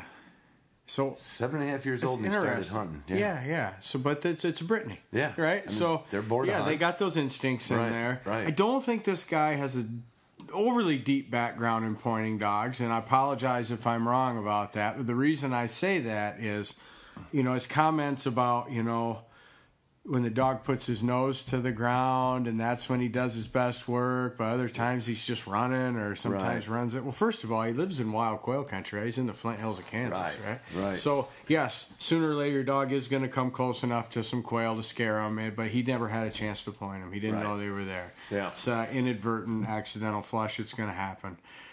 My guess is he doesn't, you know, that dog's running and he detects a little bit of scent enough to get him to check up and slow down and Yeah. then go to work. Yeah. And where are they? And then produces birds. Well, this guy is seeing that last little bit right before he finds the birds. And Mm-hmm. I, I think he's kind of thinking if my dog hunted like that all the time, Right. he'd really find a bunch of them. But that- but he's that's all starting by the dog covering ground. Right. And he's not going to run with his nose down on the ground No. sniffing the dirt the whole time. So yeah, he's seeing the last piece of that right before film. he sees the birds. He's I seen the end of the movie. Right, yeah. so covering ground is part of it. He's going to do that by air scenting.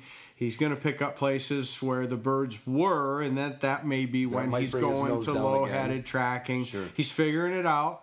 He's in a mature dog, you Right, know, but um, it sounds like the obedience is good. He lives Yeah. in hunt him, hunt him, hunt him, hunt hunt him, hunt him. Yeah. Yep. So that dog will be fine. Yeah, that doesn't sound like a real problem. Yeah. It's kind of cool though. That that age of a dog. I think it's great. Have you ever seen a that old of a dog get into hunting late in life? Yep. Yeah, I have. Um, if the the he still has the same instincts he had when he was born. Right. They just were never utilized. Right. Now, granted, most dogs would be absolutely, if anything, maybe on the waning end of their prime. Right. Right. right. You know, he's just getting started, but that's Yeah. okay. Yeah. Yeah. Yeah. Yeah. He's just a six year old puppy right now. But no, he's not a puppy No, no, I mean, mentally. you know, mentally. he, he just doesn't have any experience. a six year old first timer. Yes, there you there go. you go. There, that's what I Yeah. meant to say. Uh, I have a question. May it may not be a good question. Okay. Uh, if not, I'd still love your take on it. I live in central Alabama and am in the market for my first bird dog. When I finished grad school in June, I grew up with English pointers, but I know this will not be a good breed for me as I will probably be living in an apartment and know how cooped up they can get. I'm looking for a versatile dog uh, and and as I am an avid duck hunter and spend 15 to 20 days a year in the marsh each session, each season, uh, between Alabama, Mississippi, and Arkansas. I'd like to know this guy later. Um, and I want a dog that can be an exceptional retriever and transition, transition right into the upland after duck hunts a few times a year, pointing released birds on our property. I have done research on GSPs and GWPs. I know this is a tall task, that most of it depends on the skill or the trainer. I'd love your or Justin's take on these breeds as well as the thoughts on other versatile breeds. Wow. So he wants he wants a really good duck dog that can do really good upland work. kind of. He's not going to like my answer. Right? No, sounds like he's already passed a fork in the road that I'm going to advise he do a U-turn. yeah. You know, when I hear this, Yeah. this guy needs a Labrador Retriever. Right. Right. Well, I, I I don't think there's a better dog for this guy. Right. Okay, 15 to 20 plus days in the marsh. Yeah. He needs a duck dog. He needs a lab. Now I know, and then oh yeah, German Shorthair puppy's going to be awesome in an apartment, but an English pointer's not. Eh, Come on, uh, no. You know, they're one's got a short tail, Or one's got a long wire. tail. I've seen them eat apartments. Yeah, yeah, and not that a lab puppy's going to be a pain Right, in the neck in an apartment, but and then he And does. he even knows he he's had pointers and he wants to go to more. well, I think that's why he's hung up on a pointing dog for upland. Yeah, yeah. Now He likes- he's doing 20 days in the duck marsh, and it says a couple times a year released birds on, his on his own property. Guess what? You can have a ball hunting them up with your lab as an upland flusher. Yep. But 20 days in the marsh, a couple times on released birds. Yeah. I don't see that justifying needing Right. a pointing dog. Yeah. No. And so I would get a lab. I think Yeah. Mm-hmm. that's going to fit his life the best. He's probably not going to listen to me. He's probably going to want a pointing dog. Sounds like his heart's set on Mm-hmm. that. So, I will tell you. Here, here's my suggestion Yeah. for him. He wants a what you know. We talked about that in the last one. What's the description of a versatile dog? It's to me, it's doing work before and after the shot in varied terrains. That's Yeah, versatility. sure. It's not a specialist. right. So those two breeds, yeah, you're going to be able to find short hairs in every county, and German wire hairs are popular. I would tell them to go look into pudel pointers. That's what I would tell them. You're you're hmm. almost. I'm not saying cold. It doesn't sound like he's doing so much cold weather duck hunting. Well, he's in, in the south? Yeah, Yeah. I mean, it get cold down there. You know, Sure, cold yeah, dead water. yeah, You know, Get ice once in a while, but Okay. I, that's a, that's another breed. If he wanted my take on it, he said on thoughts on other versatile breeds. I would say if you're set on it, those are both good dogs. I know people who duck hunt with them, but I don't know people who duck hunt with them that call themselves duck hunters. And You're right. Yeah. Duck hunters usually have a lab. There's a reason for There's that. a reason for that. Yeah.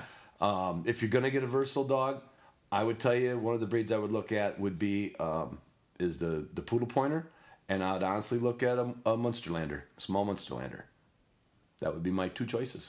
There you go. Yeah, All right. I think a little better in the house. Okay, yeah, and that's going to be a big factor for yeah, this guy. that's Isn't he think. say a grad student? Yeah, being in an apartment. kid, Yeah, he's yep. probably working in the city somewhere. So that all Usually adds up. smaller, and I think a little better control of temperament. Yeah.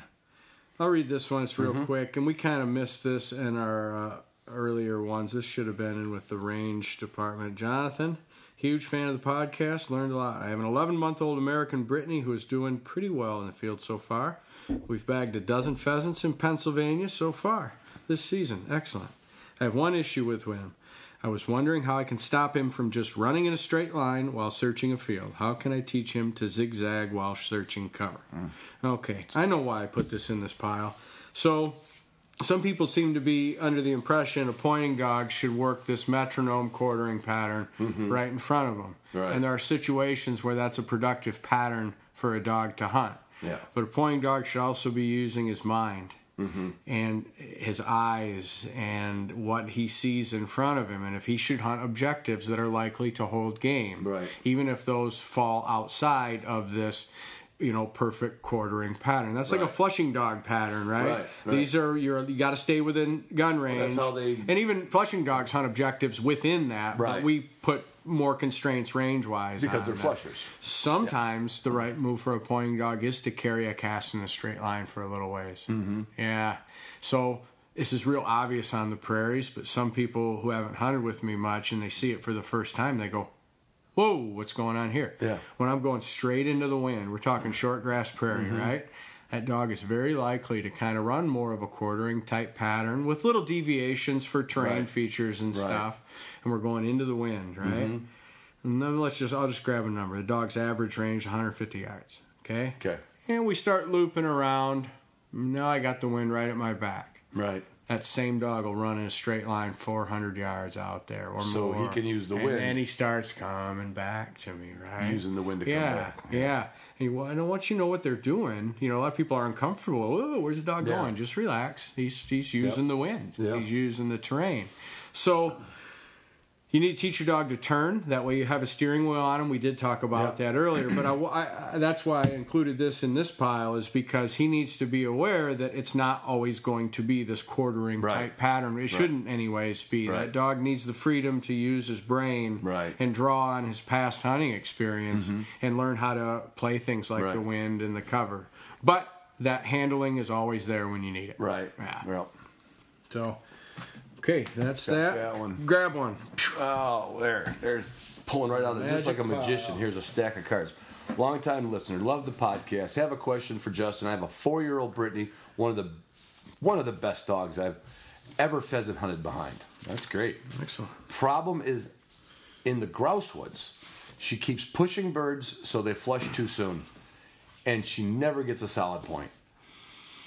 Is this just more contact with grouse, or is there some form of training I can do to not get her to push a bird? Hmm. So I'm assuming when it says one of the best pheasant dogs, it's a point. It, it points pheasants. Yeah, the dog So- successfully hunting pheasants Right, with it. And right. at four, if the dog has had equal opportunity to show itself in the woods. in the woods, he probably has a dog that just doesn't have the right neck. Now, a lot of times, a really good pheasant dog, see, that pheasant would much rather play the game from the ground and continue to run and elude danger. Mm-hmm. Right. And a good pheasant dog knows when to push him and when to back off Right. and trail him. And, and a pheasant is far more likely to continue to play that from the ground, whereas a grouse is going to go, that's enough of this, I'm out of here.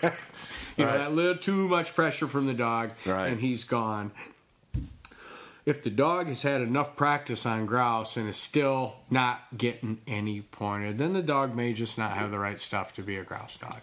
It That- really can. And that's the truth of things, right? You've seen it. How oh many? gosh, yeah. I I mean, mean, the lake states. Every dog can't, even if you live No. in grouse country, No, every no, no. dog can't be a good grouse dog. Not at all. Yeah. Not at all. And I'm not talking about the western, you know, mountain dum dum rough Right. grouse or Right. the far northern Canada dummies you Yeah. Mm-hmm. can throw rocks at. I'm talking about the where they get hunted. Where they get and they're super skittish and spooky. Yeah. it, it, it does take a special, excuse me, special dog Yeah. to pull that off. Yeah. So Yeah. That's just going to be what it's going at to be. four, yeah, I wouldn't have a lot of hope. Right. Um, question for Justin: One year, one year old Brittany, first season hunting wild pheasants here in Minnesota. He's doing well so far, holding steady points on strong scent. Still figuring out the running bird thing, but he'll get that with experience. Uh, my question is, I wanted to have him using a beeper collar, not a consistent one, but one that beeps only when he goes on point. I've held off on getting this collar, but I'm wondering is it too late? I would think once he's super confident with his points, adding a beeper won't be a problem to it. Just wanted to get your thoughts and going forward with other pointing dogs I own. This is my first. When is the right time to introduce this beeper? You, I remember you told me about that when I had Zara. You Yeah. said, you know, you got to. Some dogs you should always introduce that beeper. Sure. So it's not Most a- of them you should. So, Right, Yeah, so it's right. not new. And Yeah. so, um, no, it's not too late to answer that. A Yeah. uh, good way to do it. You don't want the first time to be on birds or hunting. Right. Um, you can do it around home. Mm-hmm. Uh, I thought kind of everybody knew this, but a quick review. Those things are made for outside, so if you have them on your dog in your house, you're going to be like, "Oh my gosh, this thing is insanely loud!" Yeah, right, right. Bounces right off the walls. yeah. Yeah. So take some tape and cover that speaker maybe three quarters of the way. Just get some- just to dull it it down, up. muffle it up, Yep. dull it down a little bit yep. when you are going to go to town, Mm-hmm. okay, have your dog in a crate. If he's normally crated, or Yep. if he's not, go ahead and have it anywhere. If your dog's loose, that's fine too. And just have it be in the same room as the dog going the whole time you go to the grocery store and come home.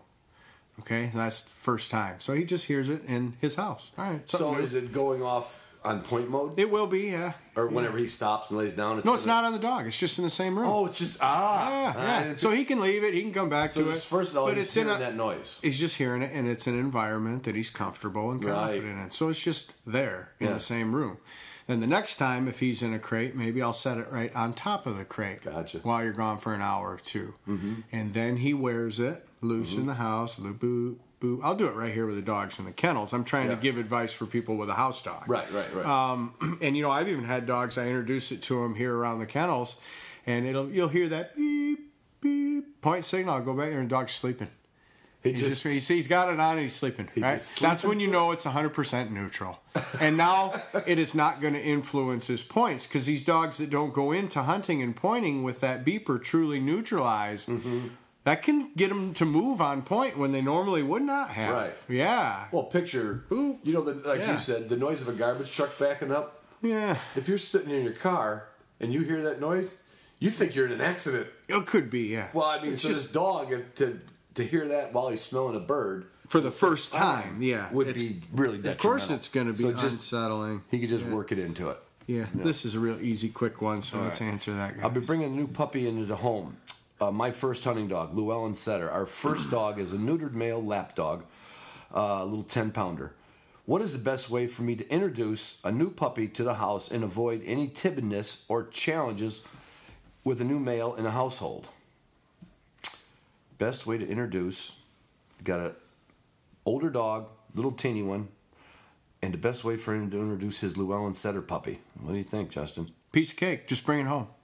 Just Absolutely. So, the adult dog, regardless of how many pounds it weighs, he says it's like a little ten pounder, Right. right? Yeah. Um, the the new eight week old puppy is automatically going to be submissive to the established adult dog in the Yeah. house. So the only time I would have concerns is if you have an adult dog in your house and you're bringing home another strange adult dog.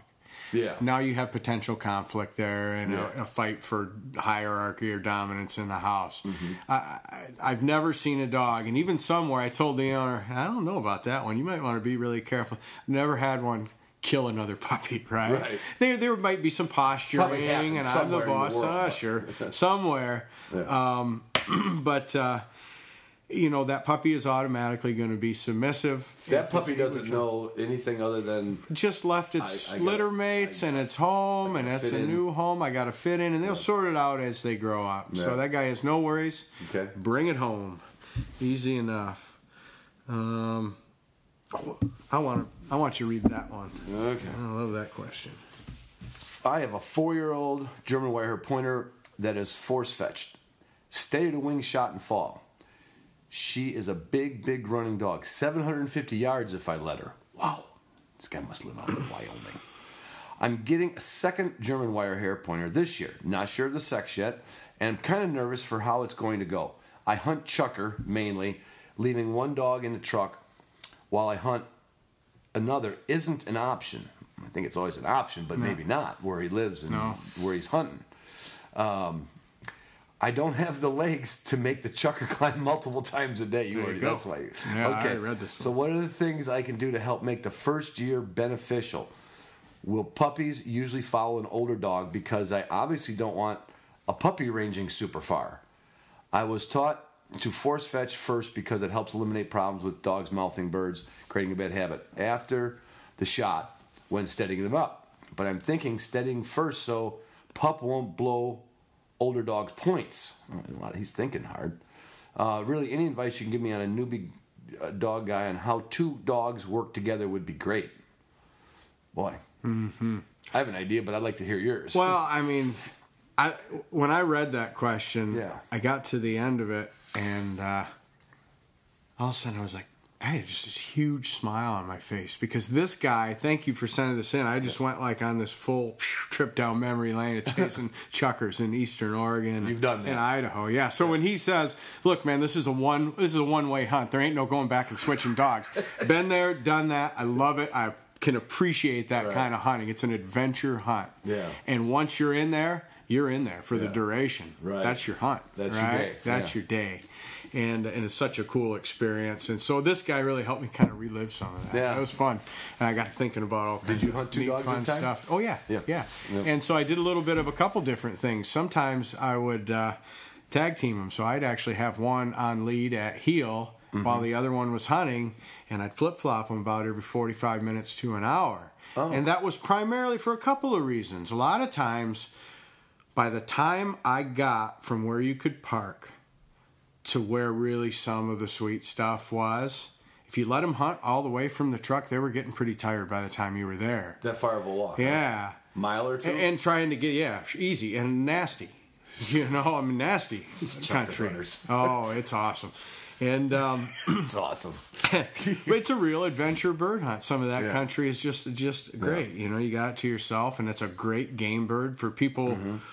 Who only know the pen raised version. That is not at all what we're talking about Yeah. here. No, it's a fantastic game bird. So, to this guy's more dog and training related questions. Um, yeah, I wouldn't be so hung up on force breaking this pup. We don't know what we do or don't have. Right. I would go out of my way every now, maybe when your older dog needs an off day, take your pup out solo. I want your pup to have at least a little bit of solo experience hunting. Yeah. And then I'd throw them out there together and just see. You'd be surprised. A lot of times, those dogs are well bred dogs, you'd be surprised how quick that pup might start honoring your older dog. Yeah. And you're then now we might have some beneficial stuff going on. You know, Right. he's kind of thinking about training to prevent worst case scenario, Right. the pup running in and putting the birds up. He might do that a few times. Right. That's okay. He's learning, right? Right. But I've seen it before. I mean, half a dozen hunts and you got a puppy starts backing. Right. And uh, okay, now There's we got bonus. Yeah, yep. Now we got a little teamwork going between Yeah. the two, and so uh, don't try and train. And I think you know he talked about force breaking a puppy to prevent mishandling shot birds. Right. Well, let's not train to prevent problems that don't actually exist yet. Yeah. It's like You buying cars for your tires for your truck when you still got 50,000 Ah, miles gee, left well, on you don't know if you got a pro- this guy doesn't know, and Yeah. so start get get that dog introduced. Priority is introduced to the gun or whatever Yeah, his deal yeah. is. You know, make sure you got all your bases covered to hunt this pup. Yeah. Sometime by himself, see how it unfolds. Um, if anything, you know, if you are having any interference issues, okay, we want a good come when called, a good heel, and a good whoa. Yeah, because if you're seeing something that you want to stop, and you can go back to what you said, you could put one on a Jaeger lead. Yeah, whatever you want. How long does it take you when you're when you're hunting like that? Like, cause I I'm picturing okay, you got two high powered dogs. You know, I I shouldn't even say high powered, but you know, go chukar hunting. They got to have more power than you. It's tough hunting. Well, they got four legs. That's their advantage. We only got two. It like it has a multiplier of six. but okay, so you got a dog on a, on a lead, right? And you're carrying a shotgun. How long is it going to take for that guy or you to get that dog to understand that I am just walking with and I'm not pulling you down the aisle while the other dog's hunting? Well, they need to know heel first before you try and enforce heel while you're hunting. Right. You train that around the house, Right. around the neighborhood, or whatever you're. And then you can even train that in the yard with the dog loose and dog on your as hip. you go, you know. Yeah. My average chukar hunts were like four hours, so you got four hours to teach that dog to heel. I like to think you get that done. Right? Pinch collar help for that? Oh, absolutely. Yeah. For certain dogs, yeah. Yeah. No, but you you know you do your foundation work. Right, right. That shouldn't be the first time you Don't try teach it healing the first dog. day, but Yeah. mountains. But Yeah, so it is doable. I never even thought of that. yeah, Just no, we do it all one the time. dog on a lead. I got some hunts in Montana that are so long of a walk. that one dog can't do it, or, or shoot, can't do it well. Yeah. Yeah, I mean he can. I'm not gonna have to carry him out, right? Right. But that last hour Right. probably ain't doing great work. Right. Fresh dogs do better. They're tired. Yeah. They're fresh Yep. dogs. So stay at it. God bless you. Yeah. Uh, tell that guy. I want to tell him what's his name. Oh, where was it? Uh, Forrest. All right. Thanks, Forrest. Yeah. If, if you have so many chukars where you're hunting this coming season that you feel like they're in danger, if it's a Right. uh, being overtaken by chukars, get a hold of me and I'll come out there. We'll do some dog training together. I miss it. I miss it a lot. Um, Oh, what we got here? here's a different one. I thought that was a different one. 750 yards. I can only yeah. That's I can see it though. I- He said if I let her, so Right, you right, know. if- but yeah. that's the kind of motor that dog has. Yeah, buddy. I have a question for the upcoming Justin. See, we're just going to call them the Justin McGrail podcasts. Um, I have a two-year-old, two-year-old lab coonhound mix, and she's just basic obedience hunting training. I live in the Twin Cities. Living in the cities, obviously finding space to run, train my dog can be an issue sometimes. So I was wondering if I had any tips or tricks to keep up with training in a city environment. Wow. Thanks in advance. Hmm. We primarily add. Oh, forgot to add. We primarily hunt pheasants. Mm-hmm. He's got a lab coonhound mix. Lives in the city. How should he exercise it? Basically, is what he's asking, right? Right, no, what training? I Well, train. I kind of like to see stuck in some big city, isn't it like Minneapolis or something? Yeah, Minneapolis, Yeah, yeah. Cities. and he's got a lab coonhound. Yeah. all right, but he's still a bird hunter. Mm-hmm. God bless him. Yeah, you yeah. know. So I had to rack my brain on this Yeah, one, right, going. training in the city Well, environment. see, I've never lived in a big city. Nor do you like them. I've n- now, I've never had a lab coonhound, Max. I have hunted pheasants. Uh, okay, so what can we do here? The only thing I could come up with is he could use the distraction of city stimulus, Yeah. a park or whatever, Yeah. to strengthen some of the basic off-leash command, graduating to off-leash Right, stuff, starting with leash. starting with long leash, check cord stuff Yeah. To include tempting and distracting situations. And that could benefit him as he hunts with Mm-hmm. this dog. Just a higher level of obedience and control. And even though the enticing stimulus is non hunting and non bird and Right. non shooting related, just finding things that are very tempting to the dog and enforcing some sort of obedience or response to commands in that situation Right. is going to have some carryover into of- the he's putting a layer into it that yeah maybe nobody else would get, and it might help him later. Yeah. yeah. and you hang out like behind the restaurants and dumpsters. He's a half coonhound, right? Right. So you get him into some raccoons. yeah. And, uh, I don't know what to tell Yeah, you. he didn't say he'd never hunt a raccoon with it. He just said primarily Well, I was just thinking it might tempt the dog, and you practice come when called after he chases the coons away from some dumpsters. you know, you made me like that guy made you think about shark hunting. My friend uh, Mike in Harrisonburg, Virginia. He, ta- he he has two French Britons. He lives right in the city, right by the college, and he takes his two dogs walk every morning. And I don't know. I don't suggest doing it, but he, of course, there's when I say early, he's a crack of dawn early guy, but he'll get out to this park and he'll and he always has collars with him, Mm-hmm. but he has got his dogs like when he gets to the park, he's gotten to the point where they're off lead and he's doing some just little drills. Yeah. And come when called on one of them, Yeah, and he got the other one, and he's doing that in a in a park, Yeah, right in the city. I absolutely. even gave that any thought. yeah.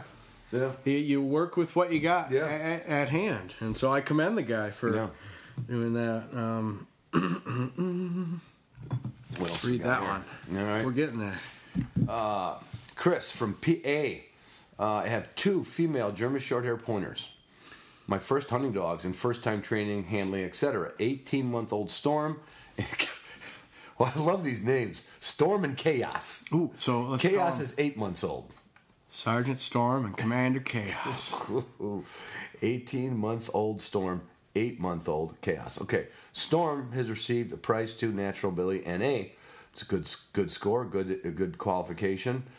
Um, earlier this year, and will be moving up to UT next year. Okay, she knows her standard commands will come, sit, stay, and has also basically stayed the wing shot He's doing better than I am.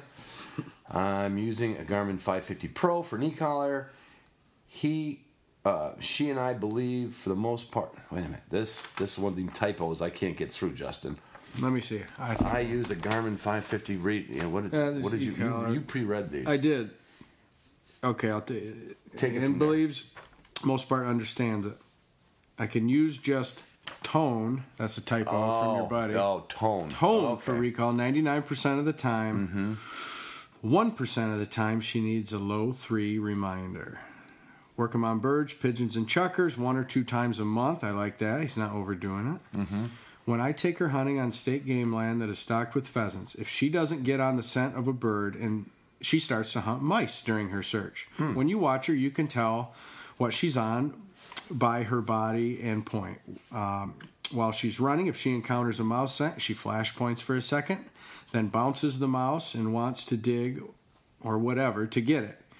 She can then travel 10 feet further, then truly point a bird and stay steady without command. Yeah.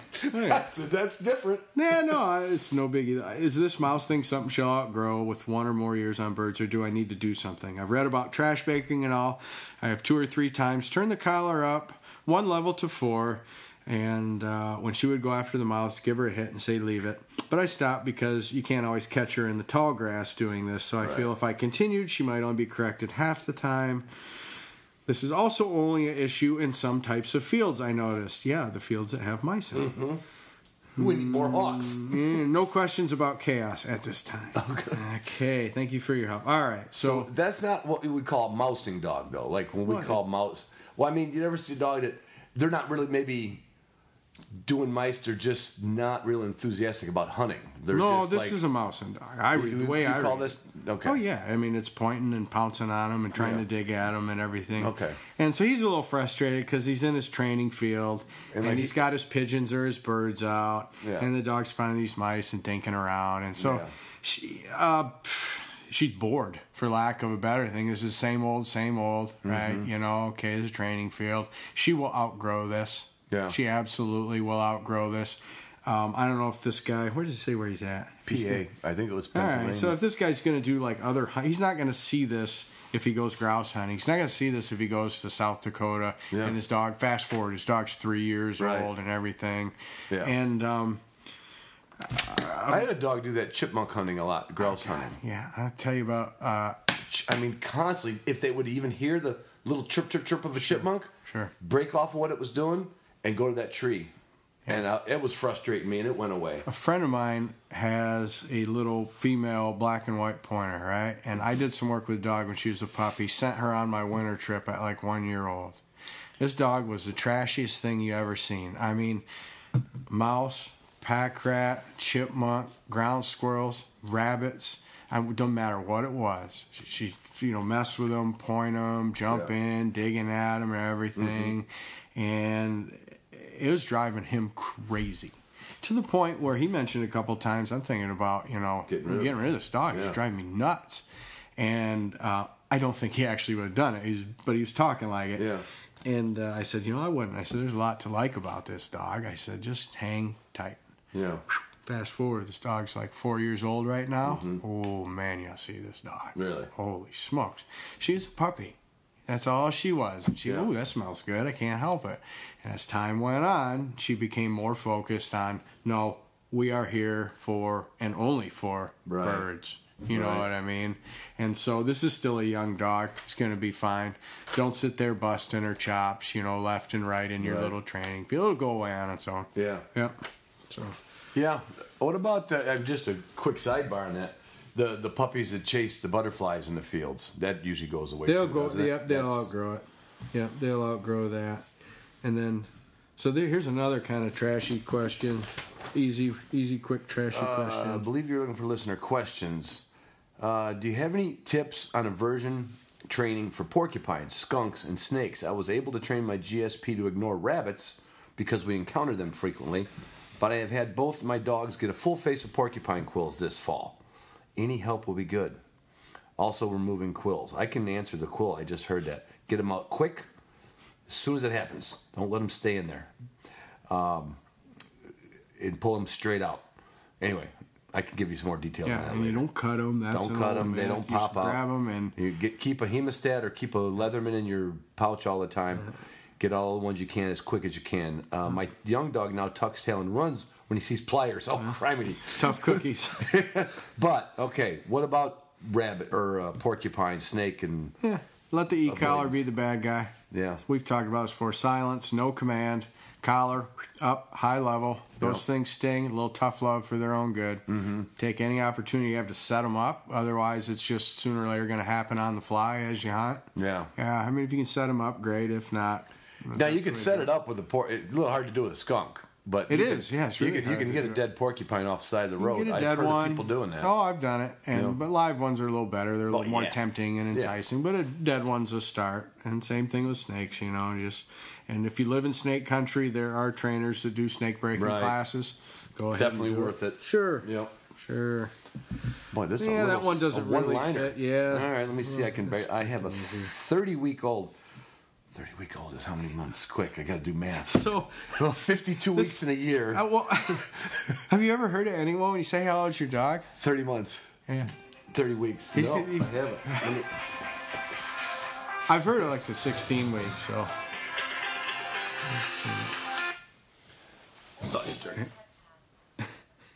Ugh, okay. Um, anyway, so 30 yeah, I I'll do that for you. Seven and a half months. Thank you. Okay. Seven and a half months. I have a seven and a half. I wonder how far he's going to go with that. Uh, I don't know.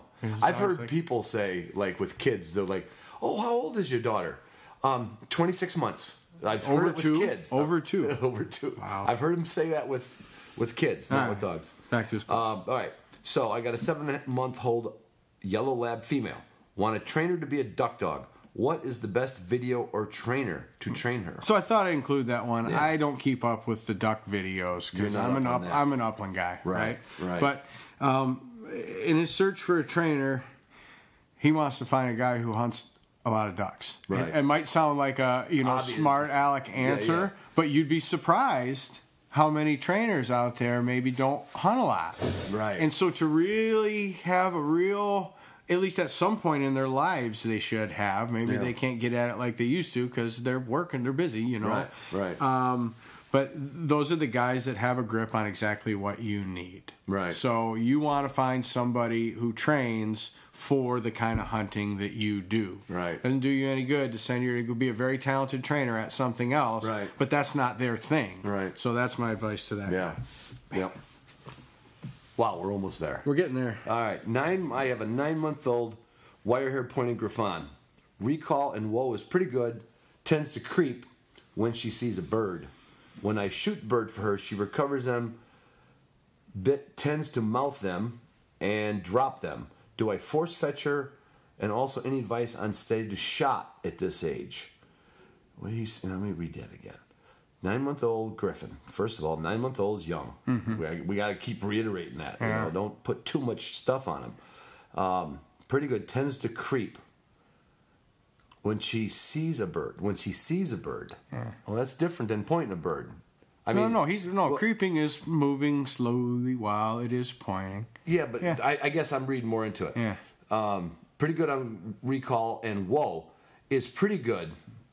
Tends to creep when she sees a bird. Yep. To me, that's saying she's sight sighting a bird. That's a pen raised bird walking Okay. around in front right. of her. Seen it. Okay. That's Well, my guess. Yeah. Okay. We'll take it that way. Um, when I shoot a bird for her, she recovers them. Tends to be a bit hard. Boy, recovers them, then bit tends to mouth them and drop them. Do I force fetch her or any advice on steady to boy? That's two stream things. Hmm. any advice on steady to shot with this age? Yeah. So Wow. I had to include this. This Yeah. is so indicative of so many people. This dog is nine months old. It's pointing birds. You're shooting birds over Yeah. him. It's recovering those birds, but he's mouthing them a little. So what? Yeah. You have a Let it- puppy. You're successfully killing birds over. Yeah. And all this other stuff, that perfect delivery, that steadiness to the shot. You don't go from nine month old to that. This is a journey Right. that you know we got to put some fundamental building blocks in place. Yeah. A lot, there's a lot more experience that needs to come into play, and the dog needs to have all these things eh, trained and experienced. Life experience is Yeah. a big component. Yeah. This is not all a man-made deal. Otherwise, we could pluck a dog out of the shelter and just Right. teach them everything they Right. need to know. There's Right. of these instincts that need to be developed. Yeah. And uh, so this guy in his head is way ahead of the count Yeah. of, of where this dog is. It sounds like he's got a great dog. Totally normal for a nine month old to creep on point a Nine little months. bit. Yeah. Totally normal for him not to have this, you know, polished delivery of game. Right. So he does not have a problem. Right. He has a great puppy. Yeah. Yeah. And he'll be And fine. then uh, yeah, he'll be fine. Yep. Yeah. Young, young, young, young. I'm gonna grab a little swallow of coffee while you that. raid that All one. right, I've I'll get it. this one warmed up This here, just like your here. coffee. I have a 10 month old yellow lab. She is learning fast and extremely food motivated. Well, so is my daughter Kelsey's lab. Um, so is the corgis, and so is, yeah. Uh, she is an angel whenever you have a handful of kibble. Comes on command, heels very well, will sit and stay. However, if you don't have any treats, all bets are off.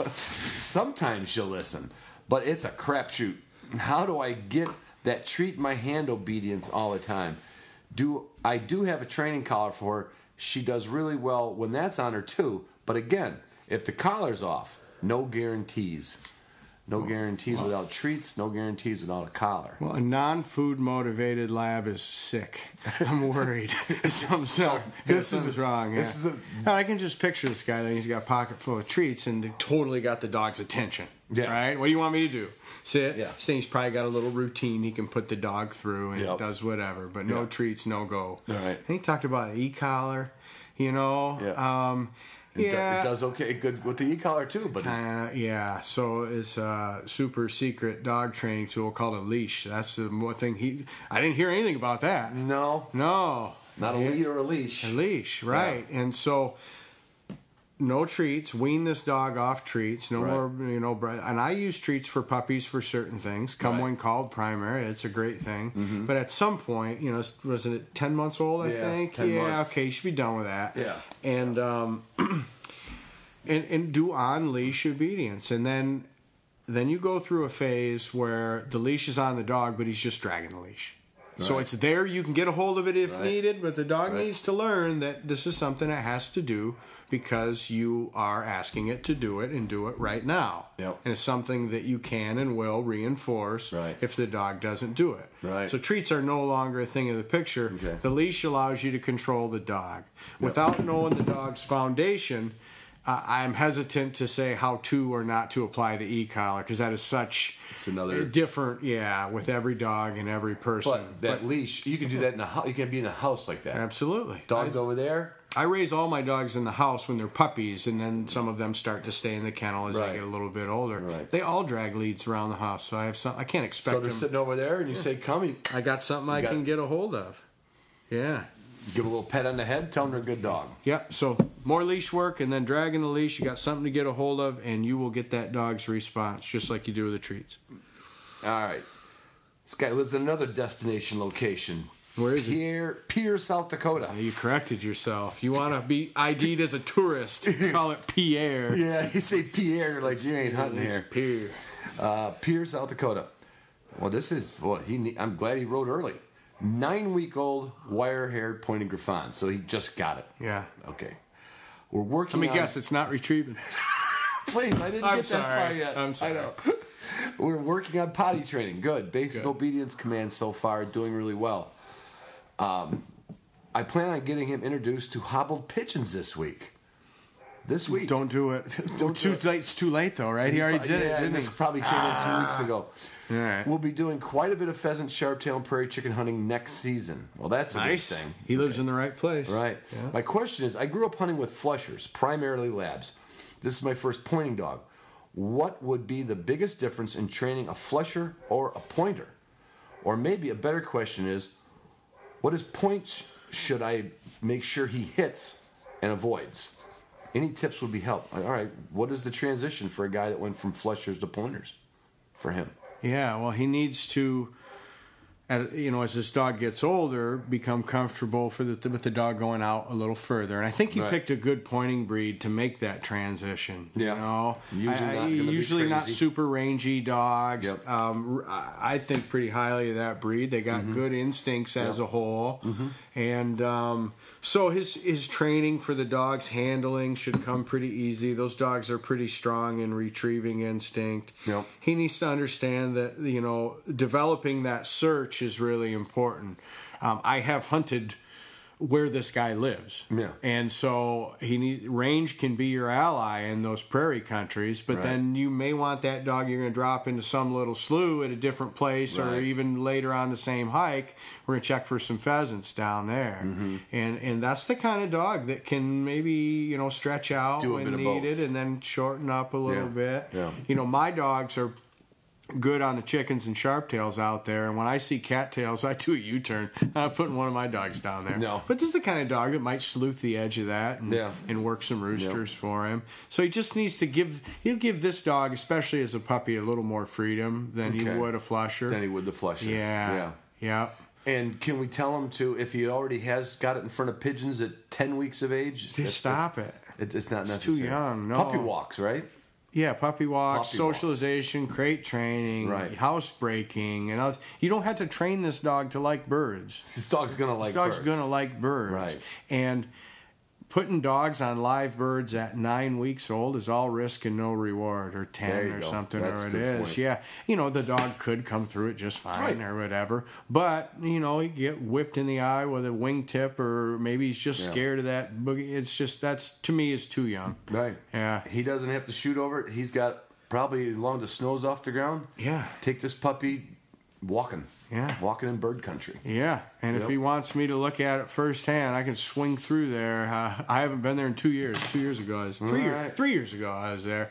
And again, if he's got too many chickens, yeah, let us know how the chi- yeah, right back and let us know how the chickens Yeah. and sharpies are out there. yeah, next year. So All right, what do we got here? we're getting there, buddy. We're getting there. a couple little f- two liners here. Well, let's see what that one says. All right.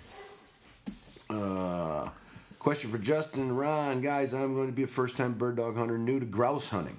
My pup should be about 10 months old at the beginning of his first season next year. That's a nice age for a first season. He will be a Llewellyn setter. All right. I'm living in North Carolina and I'm very afraid that our dismal wild bird populations will hurt this development. We all know birds teach dogs. What is the best way for me to get him ready for his first season using pigeons or pen raised quail, etc.? Should I travel five to ten hours to get him on some wild grouse in the off season? Ooh. That's So, um, unless you have a really good spot. Well, it's hard. He's an owner of one dog. You know, Right. that's a tremendous amount of travel. Yeah. To go, you know, you can only work one dog so much. Right. Right. And so to do all that travel for a couple mornings or Yeah. something, that's pretty tough to justify. Yeah. Save your time off work, um, uh, you know, for the season. And, and he would think, you know, I'd like this guy to think introduction to birds, natural environment. You know what I mean? An area preceded. We talked about this, I think, earlier with some of the questions. Really good, strong flying game birds. You, you can get good quail. Yeah. What state's he in again? North, North Carolina? Carolina. Yeah. Yeah. So there's some quail growers and you know somewhere around there. Yep. And if you get some bad ones, you're done with that grower. You get some other ones. Eat and those use the- birds. eat them, whatever. Yeah. And um, in in a natural environment and Mm-hmm. just develop that puppy's instincts there. But that's a long haul for me to say. I hey man, I appreciate. I can admire the dedication. Yeah, yeah. This guy's kind of like It's sounds like like, he might be willing. willing to do Yeah, He said, "Should I? Should mean, I? Yeah. You know, if you said yes, he'd probably go. Oh, Justin told me I got to travel. Or you know, hey, if he, it's, di- I feel it's different if he's got a four day weekend and a buddy who's got a dog and they throw some fishing rods in the truck Right. and there's some tents or That's not gonna hurt anything. That's not gonna hurt anything. Besides being a good trip. Yeah, but to drive five hours to run a dog for And an then to hope you're finding and then those hope you find a bird and it's Right. August and it's Right. hot or whatever. Save your time off and you're traveling for the season. I mean, you start off, to be clear, you start off your young dogs here that you're fully intent on being grouse dogs. Almost all your gr- dogs are grouse dogs. Oh, they all are. I mean, every almost every one. of Every them. one of them's. I mean, and I mean a Michigan rough grouse dog. Yeah, that's their home and, bird. And they're grouse dogs on the prairie, and they're quail birds in Arizona. quails, yeah. Okay, you start your dogs on quail, right? No, I start my. What my dogs are started on depends on when they were born. Well, okay. You know what I mean? If Yeah. if you were in that situation where you if I was in his situation, I would. you start them on quail, you'd have no problem starting. No problem starting. I just strong sure birds, good strong flying birds. and not some contrived no launcher, no none of that. But just they're there to be found. Right. And when I look at a piece of land, I go, if there were wild birds here, where would they be? Mm-hmm. Yeah. And that's where I'm going to make sure those birds end Right. up. Because we also, it's along with the bird contact, I also want to be developing that dog's instincts of where he's likely to find game. Right, right. These dogs are learning to become a predator. Right. Right. And so to develop that instinct in them, Yeah. you know, all those little things are important. Yeah, yeah. Yep. So Got it. that's the deal with him. Um, we're gonna make this guy wait. Okay. Yeah, I'll tell you. Okay. Oh, there's a Easy one. yeah, it's a hard mouth retrieving one No. there. We were I thought we, We- were we- done with that. All right, seven month old, seven month old pudel pointer. I, I'm, I'm saying these because with the inflection to like everybody remember, we seem to have a lot of these dogs that people are worrying about that they may not have to worry about because No. they're so young. Seven month old pudel pointer doing well in obedience training has been introduced to planet birds. However, when working on retrieves, he is very possessive and concerning me that he would begin to he would begin to develop hard mouth, judging by the way he's handling his bumpers. Mm-hmm. Okay. Yeah. What do you think? See what happens. Again, do you, he doesn't he had bumpers? Right. doesn't know what he has with birds yet. Right, right. And let that dog, as he starts to hunt him, you know, let him drag a little lightweight cord so he can get a hold of him, and let Yeah. him grow up a little bit, kill some birds for him, and Right. see what he has. But you know, even when I raise a dog, there'll be something along the line I'll worry about. It's human nature. Yeah. That's what a lot of these are from. The guys are sometimes going, "Uh oh," you know, he's kind of popping on this canvas dummy here. I can yeah. hear teeth on there. Is he going to just? We don't know yet. We don't know. We don't know. Don't don't get too Don't- quick to react to something that hasn't Don't try to fix a problem that may not be there. Yeah, All right, what do you got? you're gonna like this one. Oh boy. All right, 14 month old English oh English pointer, 100% Elhew breeding. I live in Ohio. I hunt and, and hunt pen raised birds. I've done zero training with this dog besides teaching Whoa as a puppy for basically making him want to sit and wait and eat and leave his crate coming in and out of the house. Th- Those are all good things. Um, I took him out for the first time in October. He slammed on every bird, held point until the bird was in the air, and brought back every bird to hand. how how often will a dog be just as good? My next goal is to steady him up until the shot. What is the best way to do this? That I will not take any drive out and fun out of the hunt out of him. Wow. Mm-hmm. I don't think he's going to take anything out of that dog. Well, it that good. depends on what he does. So, Unless he so the cool thing about the podcast, not like a radio show. Like we know this guy is listening, right? Right, He took right, the time to send in a He'll question, so he's gonna listen to see what it says. So, Yeah. let's get Chris. All right, turn your volume up a little bit. All right. Don't screw this up, man. all right. First of all, you have Don't screw this up. So every now and then, yes, uh, it's not common, but I have had a, uh, my three-year-old that I have right now was was born to this world this way. Naturally, would let you walk in and put the birds up. Right. Strong natural retriever. Yeah. This is given to me from her ancestors. Right. So it's all mine to screw up. Mm-hmm. So how do you not screw it up? Well, with that particular dog, she was born at the right window of the year where I was able to keep the whole first season of her very first bird contact were wild birds, and mm-hmm. uh, for that whole first season was all wild birds. Wow. Now, how that maintains natural staunchness is they their willingness to lift as you approach. Yeah. You get anywhere near that dog, mm-hmm. boom, the birds are up. And Right. those dogs with a lot of point are standing until the flush Yeah. Mm, reluctant to fly chukars and quails where you gotta kick around in front of 'em. of them. Sooner or later they see them, they run, they Mm-hmm. Don't want to fly. You're asking a whole lot out of a dog. well, there's no training. His Right. DNA. He's gonna start going. Right. Right. So you're kind of crashing that natural staunchness in the dog right there because we don't have any whoa training yet. It's all Mm-hmm. DNA. Right? Right. So a lot of that is manipulating the environment until the dog has been whoa broke. Yeah. He needs to get this dog completely whoa trained, separate from pointing and birds, to the point where he can stop yard. in the yard and then field and then in the field whoa to where that dog can come running by him and whoa, and the dog stops and waits to be released. He can walk Like all around. dog. Absolutely. Well, I don't know about Yeah, that. no way. just really whoa broke. Yeah. Nothing to do with pointing and birds. Right. And then he needs to connect the two. He won't take anything out of the dog because Right. anytime the dog goes to move, you can correct him for disobedience For to disobedience to whoa. Yep. It's not the retrieve. Don't mess with it. Just Right. you know, it's there, right? He showed it. He may quit down the road. He may not, but he has a very good genetically talented dog. So no bad birds. Now that kind of leads me to a good point because once a dog is whoa broke Yeah. and reliably steady. Notice a lot of times I'm like, ah, these bad birds and everything. That's with puppies because with puppies we can't control what they're going to do once they get around these birds. They're Right. going to do what they're going to do, and Right. that means we need a bird to do what we need it to Yeah, do, which need is it get as up close and get to wild as we can. Yeah, I ain't gonna have, but we need a bird that's going to get up and get out of there. Right. Right. Once a dog is whoa broke and we can control them around their birds. Mm-hmm. Now you got a little more wiggle room with the situations you put them in with released birds. Right. Because now we have a little more of a say in what the dog can or can't Yeah. do. So it's really where I'm super fussy on birds is with those puppies. Puppies, yeah. Yeah. Well, even So- to that extent, you know, when we were training steadiness, you know, when I have to do that for a dog. In fact, I think I'm up next year for a finished utility dog that otherwise will kick me out of the judging team. Oh yeah, we're in trouble. We Justin. Or you're in trouble. You better start puppy I'm gonna run that cocker spaniel in a versatile test. Be my best dog.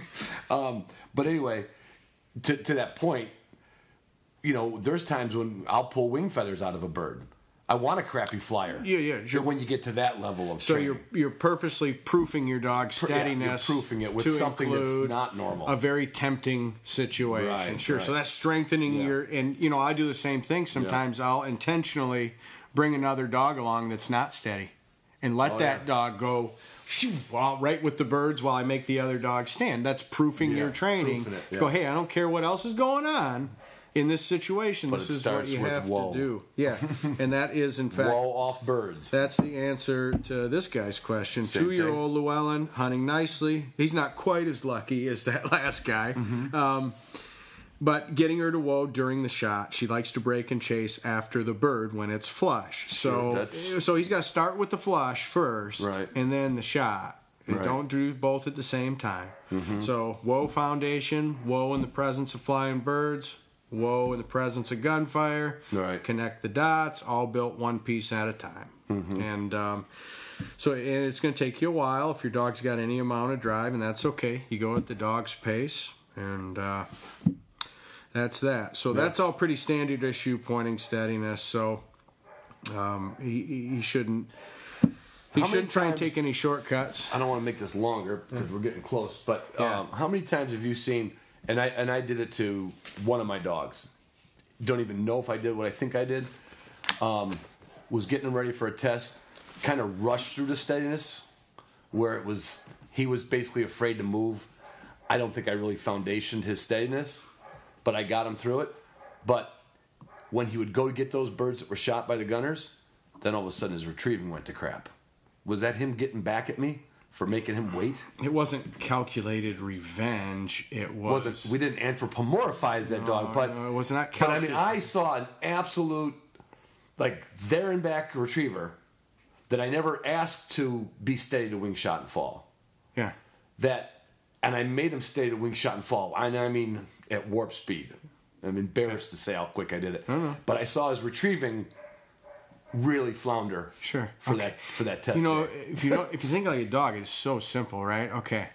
So retrieving is go get it, right? Yeah. Okay. What is steady to wing shot and fall? don't do anything. And when he tried to go get it, you jumped him for it, right? Pretty Yep. good, trying to cram it down his Yep. throat. Like you can't. All right, so you So took now- the wind out of his. he's like- oh man, I don't know about going to get these things, right? So Okay. of course you saw kind of a ho hum retrieve in Yeah. him. He's almost confused Yeah, then. and he was out of balance.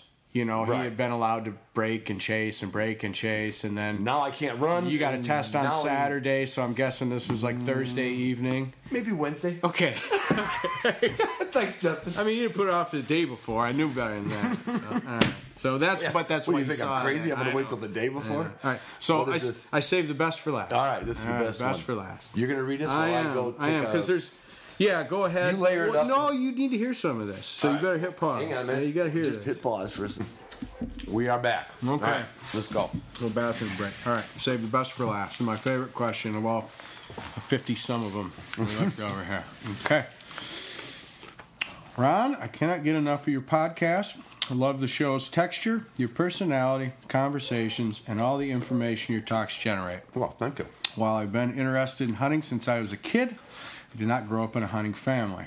Been quite a serious learning process. Not only how to shoot, where to go, what to wear, and basically how to enter into the sport, especially not knowing many women hunters. Having said that, I had no idea how much I was going to love hunting until I got my pup last summer. Wow. I have a six month old pudel pointer and I live in Idaho. And as I've taken her out among wild birds, I've discovered not only is she birdie, but I'm crazy about finding birds too. The hunt is addicting, and this fall has been and continues to be great fun as we both, the pup and I, are learning to be effective hunters together. So I do have a few questions if I'm not sending them in too late. First, how much training should go into a pup before the NAVHDA natural ability test? I ask because the test is supposed to test a dog's genetic hunting abilities, and I don't want to mask any weaknesses that might exist. I'm awfully curious about how she'd do on her own. But after listening to the episode with Phil Swain, is that how you say it? I mm-hmm. got the impression I should be doing more training. Hmm.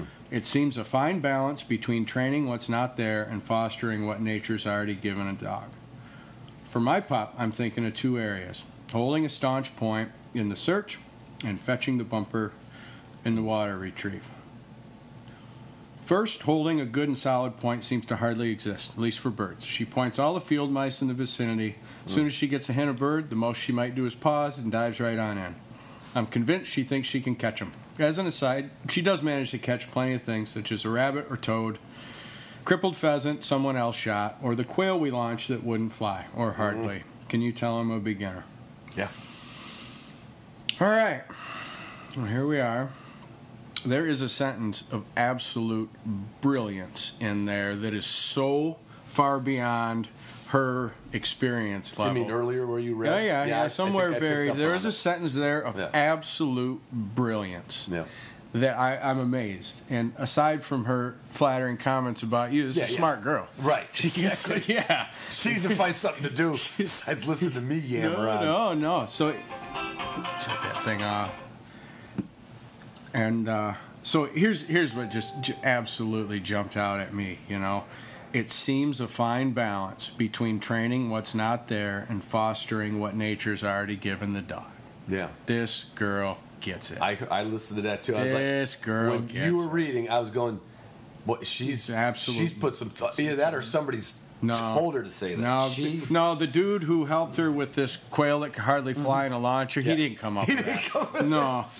No, no offense to that guy, but Oh. you know shouldn't do that with a six month. So she's been listening to us about Right. the importance of developing puppies, Right, right, good, strong flying birds naturally. She lives in what is arguably maybe the greatest state for a bird hunter to live in in the United States. Yeah.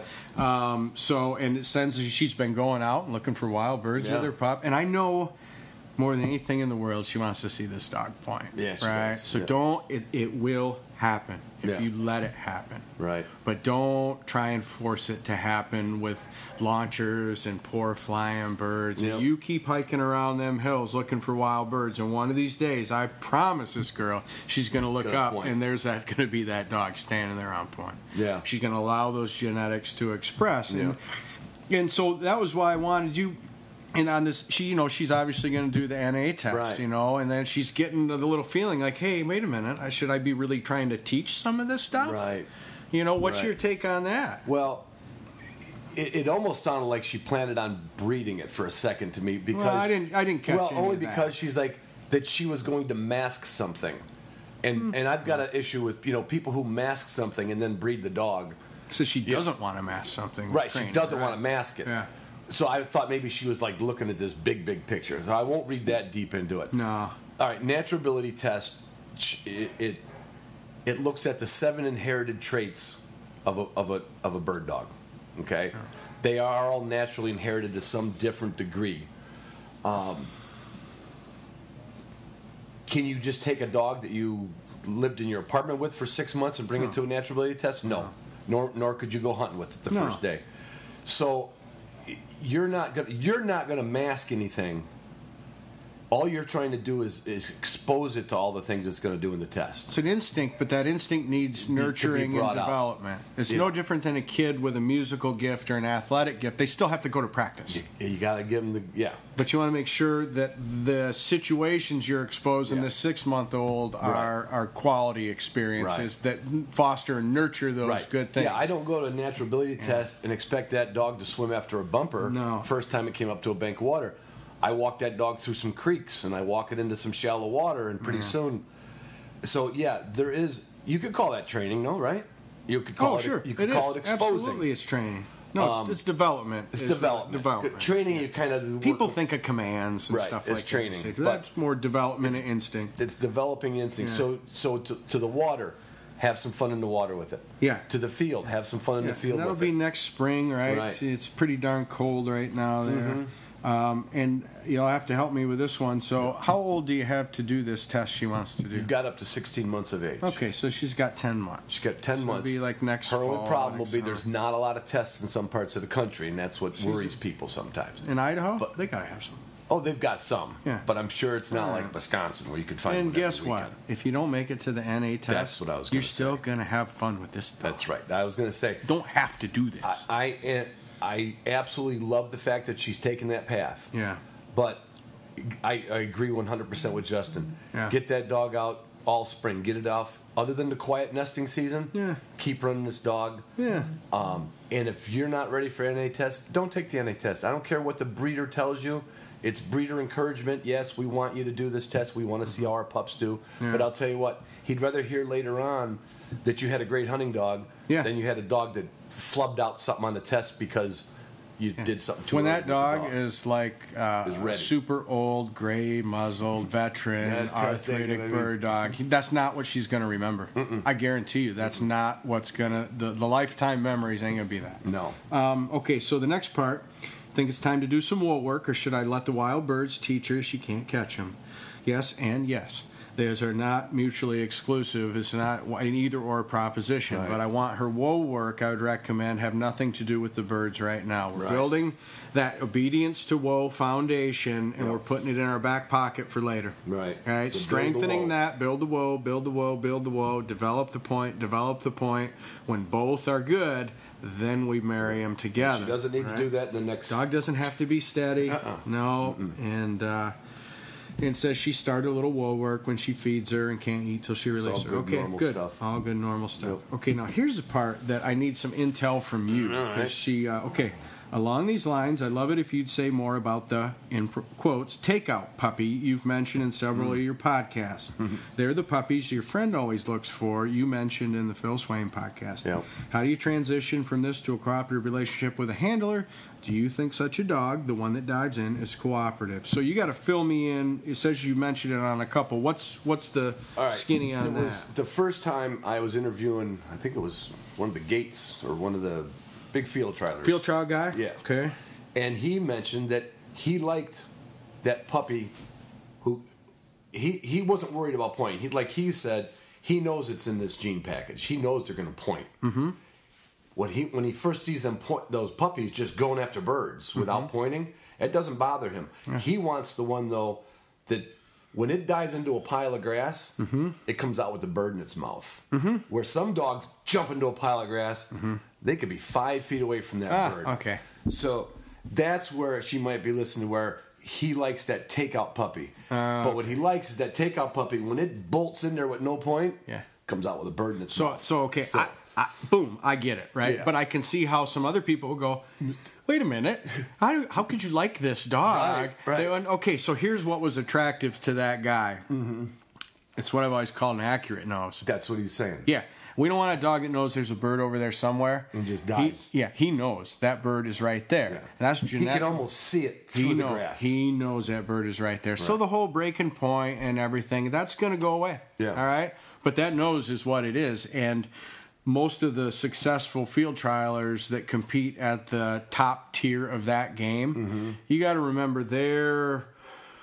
That's Different the big game. boy club, and they got to sort through a lot of puppies to find those two or three Mm-hmm. Right. that they might have a chance to win the big ones with. Right. So it's very different than what the average hunters are doing. But having that superior top shelf nose um, is hugely beneficial. Right. And you know what? Most people who think they've owned or seen a dog that has a great nose, they've seen they've owned or seen a dog that has a good nose. Right. And I've only seen a handful in my life, as many dogs I've That seen that I would say is a on. truly great, phenomenal nose. Right. And once you've seen one like that, you go, "Ooh, all them other ones I thought had a great nose. They were good, Right, right. right? But there is another level. Wow. And those are those kind of dogs that he was referencing. So Right. this was that was more. It's not about the takeout, and that's No. what I think she focused Yeah, on. yeah. It wasn't about the takeout. Yeah. It was about accuracy. Of nose. And and I can relate that. And I've seen puppies that, you know, you, because we got to plant birds in cover that you know they'll Sure. stick in, right? And I've seen so many. You know, I'd rather see them point first birds. Apparently, you know, mm-hmm. Mr. Gates didn't worry about it. He's known birds his whole dogs his whole life. But I've seen that puppy dive into a pile of grass and just keep diving and Sure. diving Yeah. and diving, and eventually the bird's like, "I better get out of here." yeah. And I've seen puppies go into that grass pile, mouse on the bird. Like, how did it know? Yeah. It's like it had X-ray vision. Yeah. going into the grass. The nose was Sup- that accurate. Superior nose.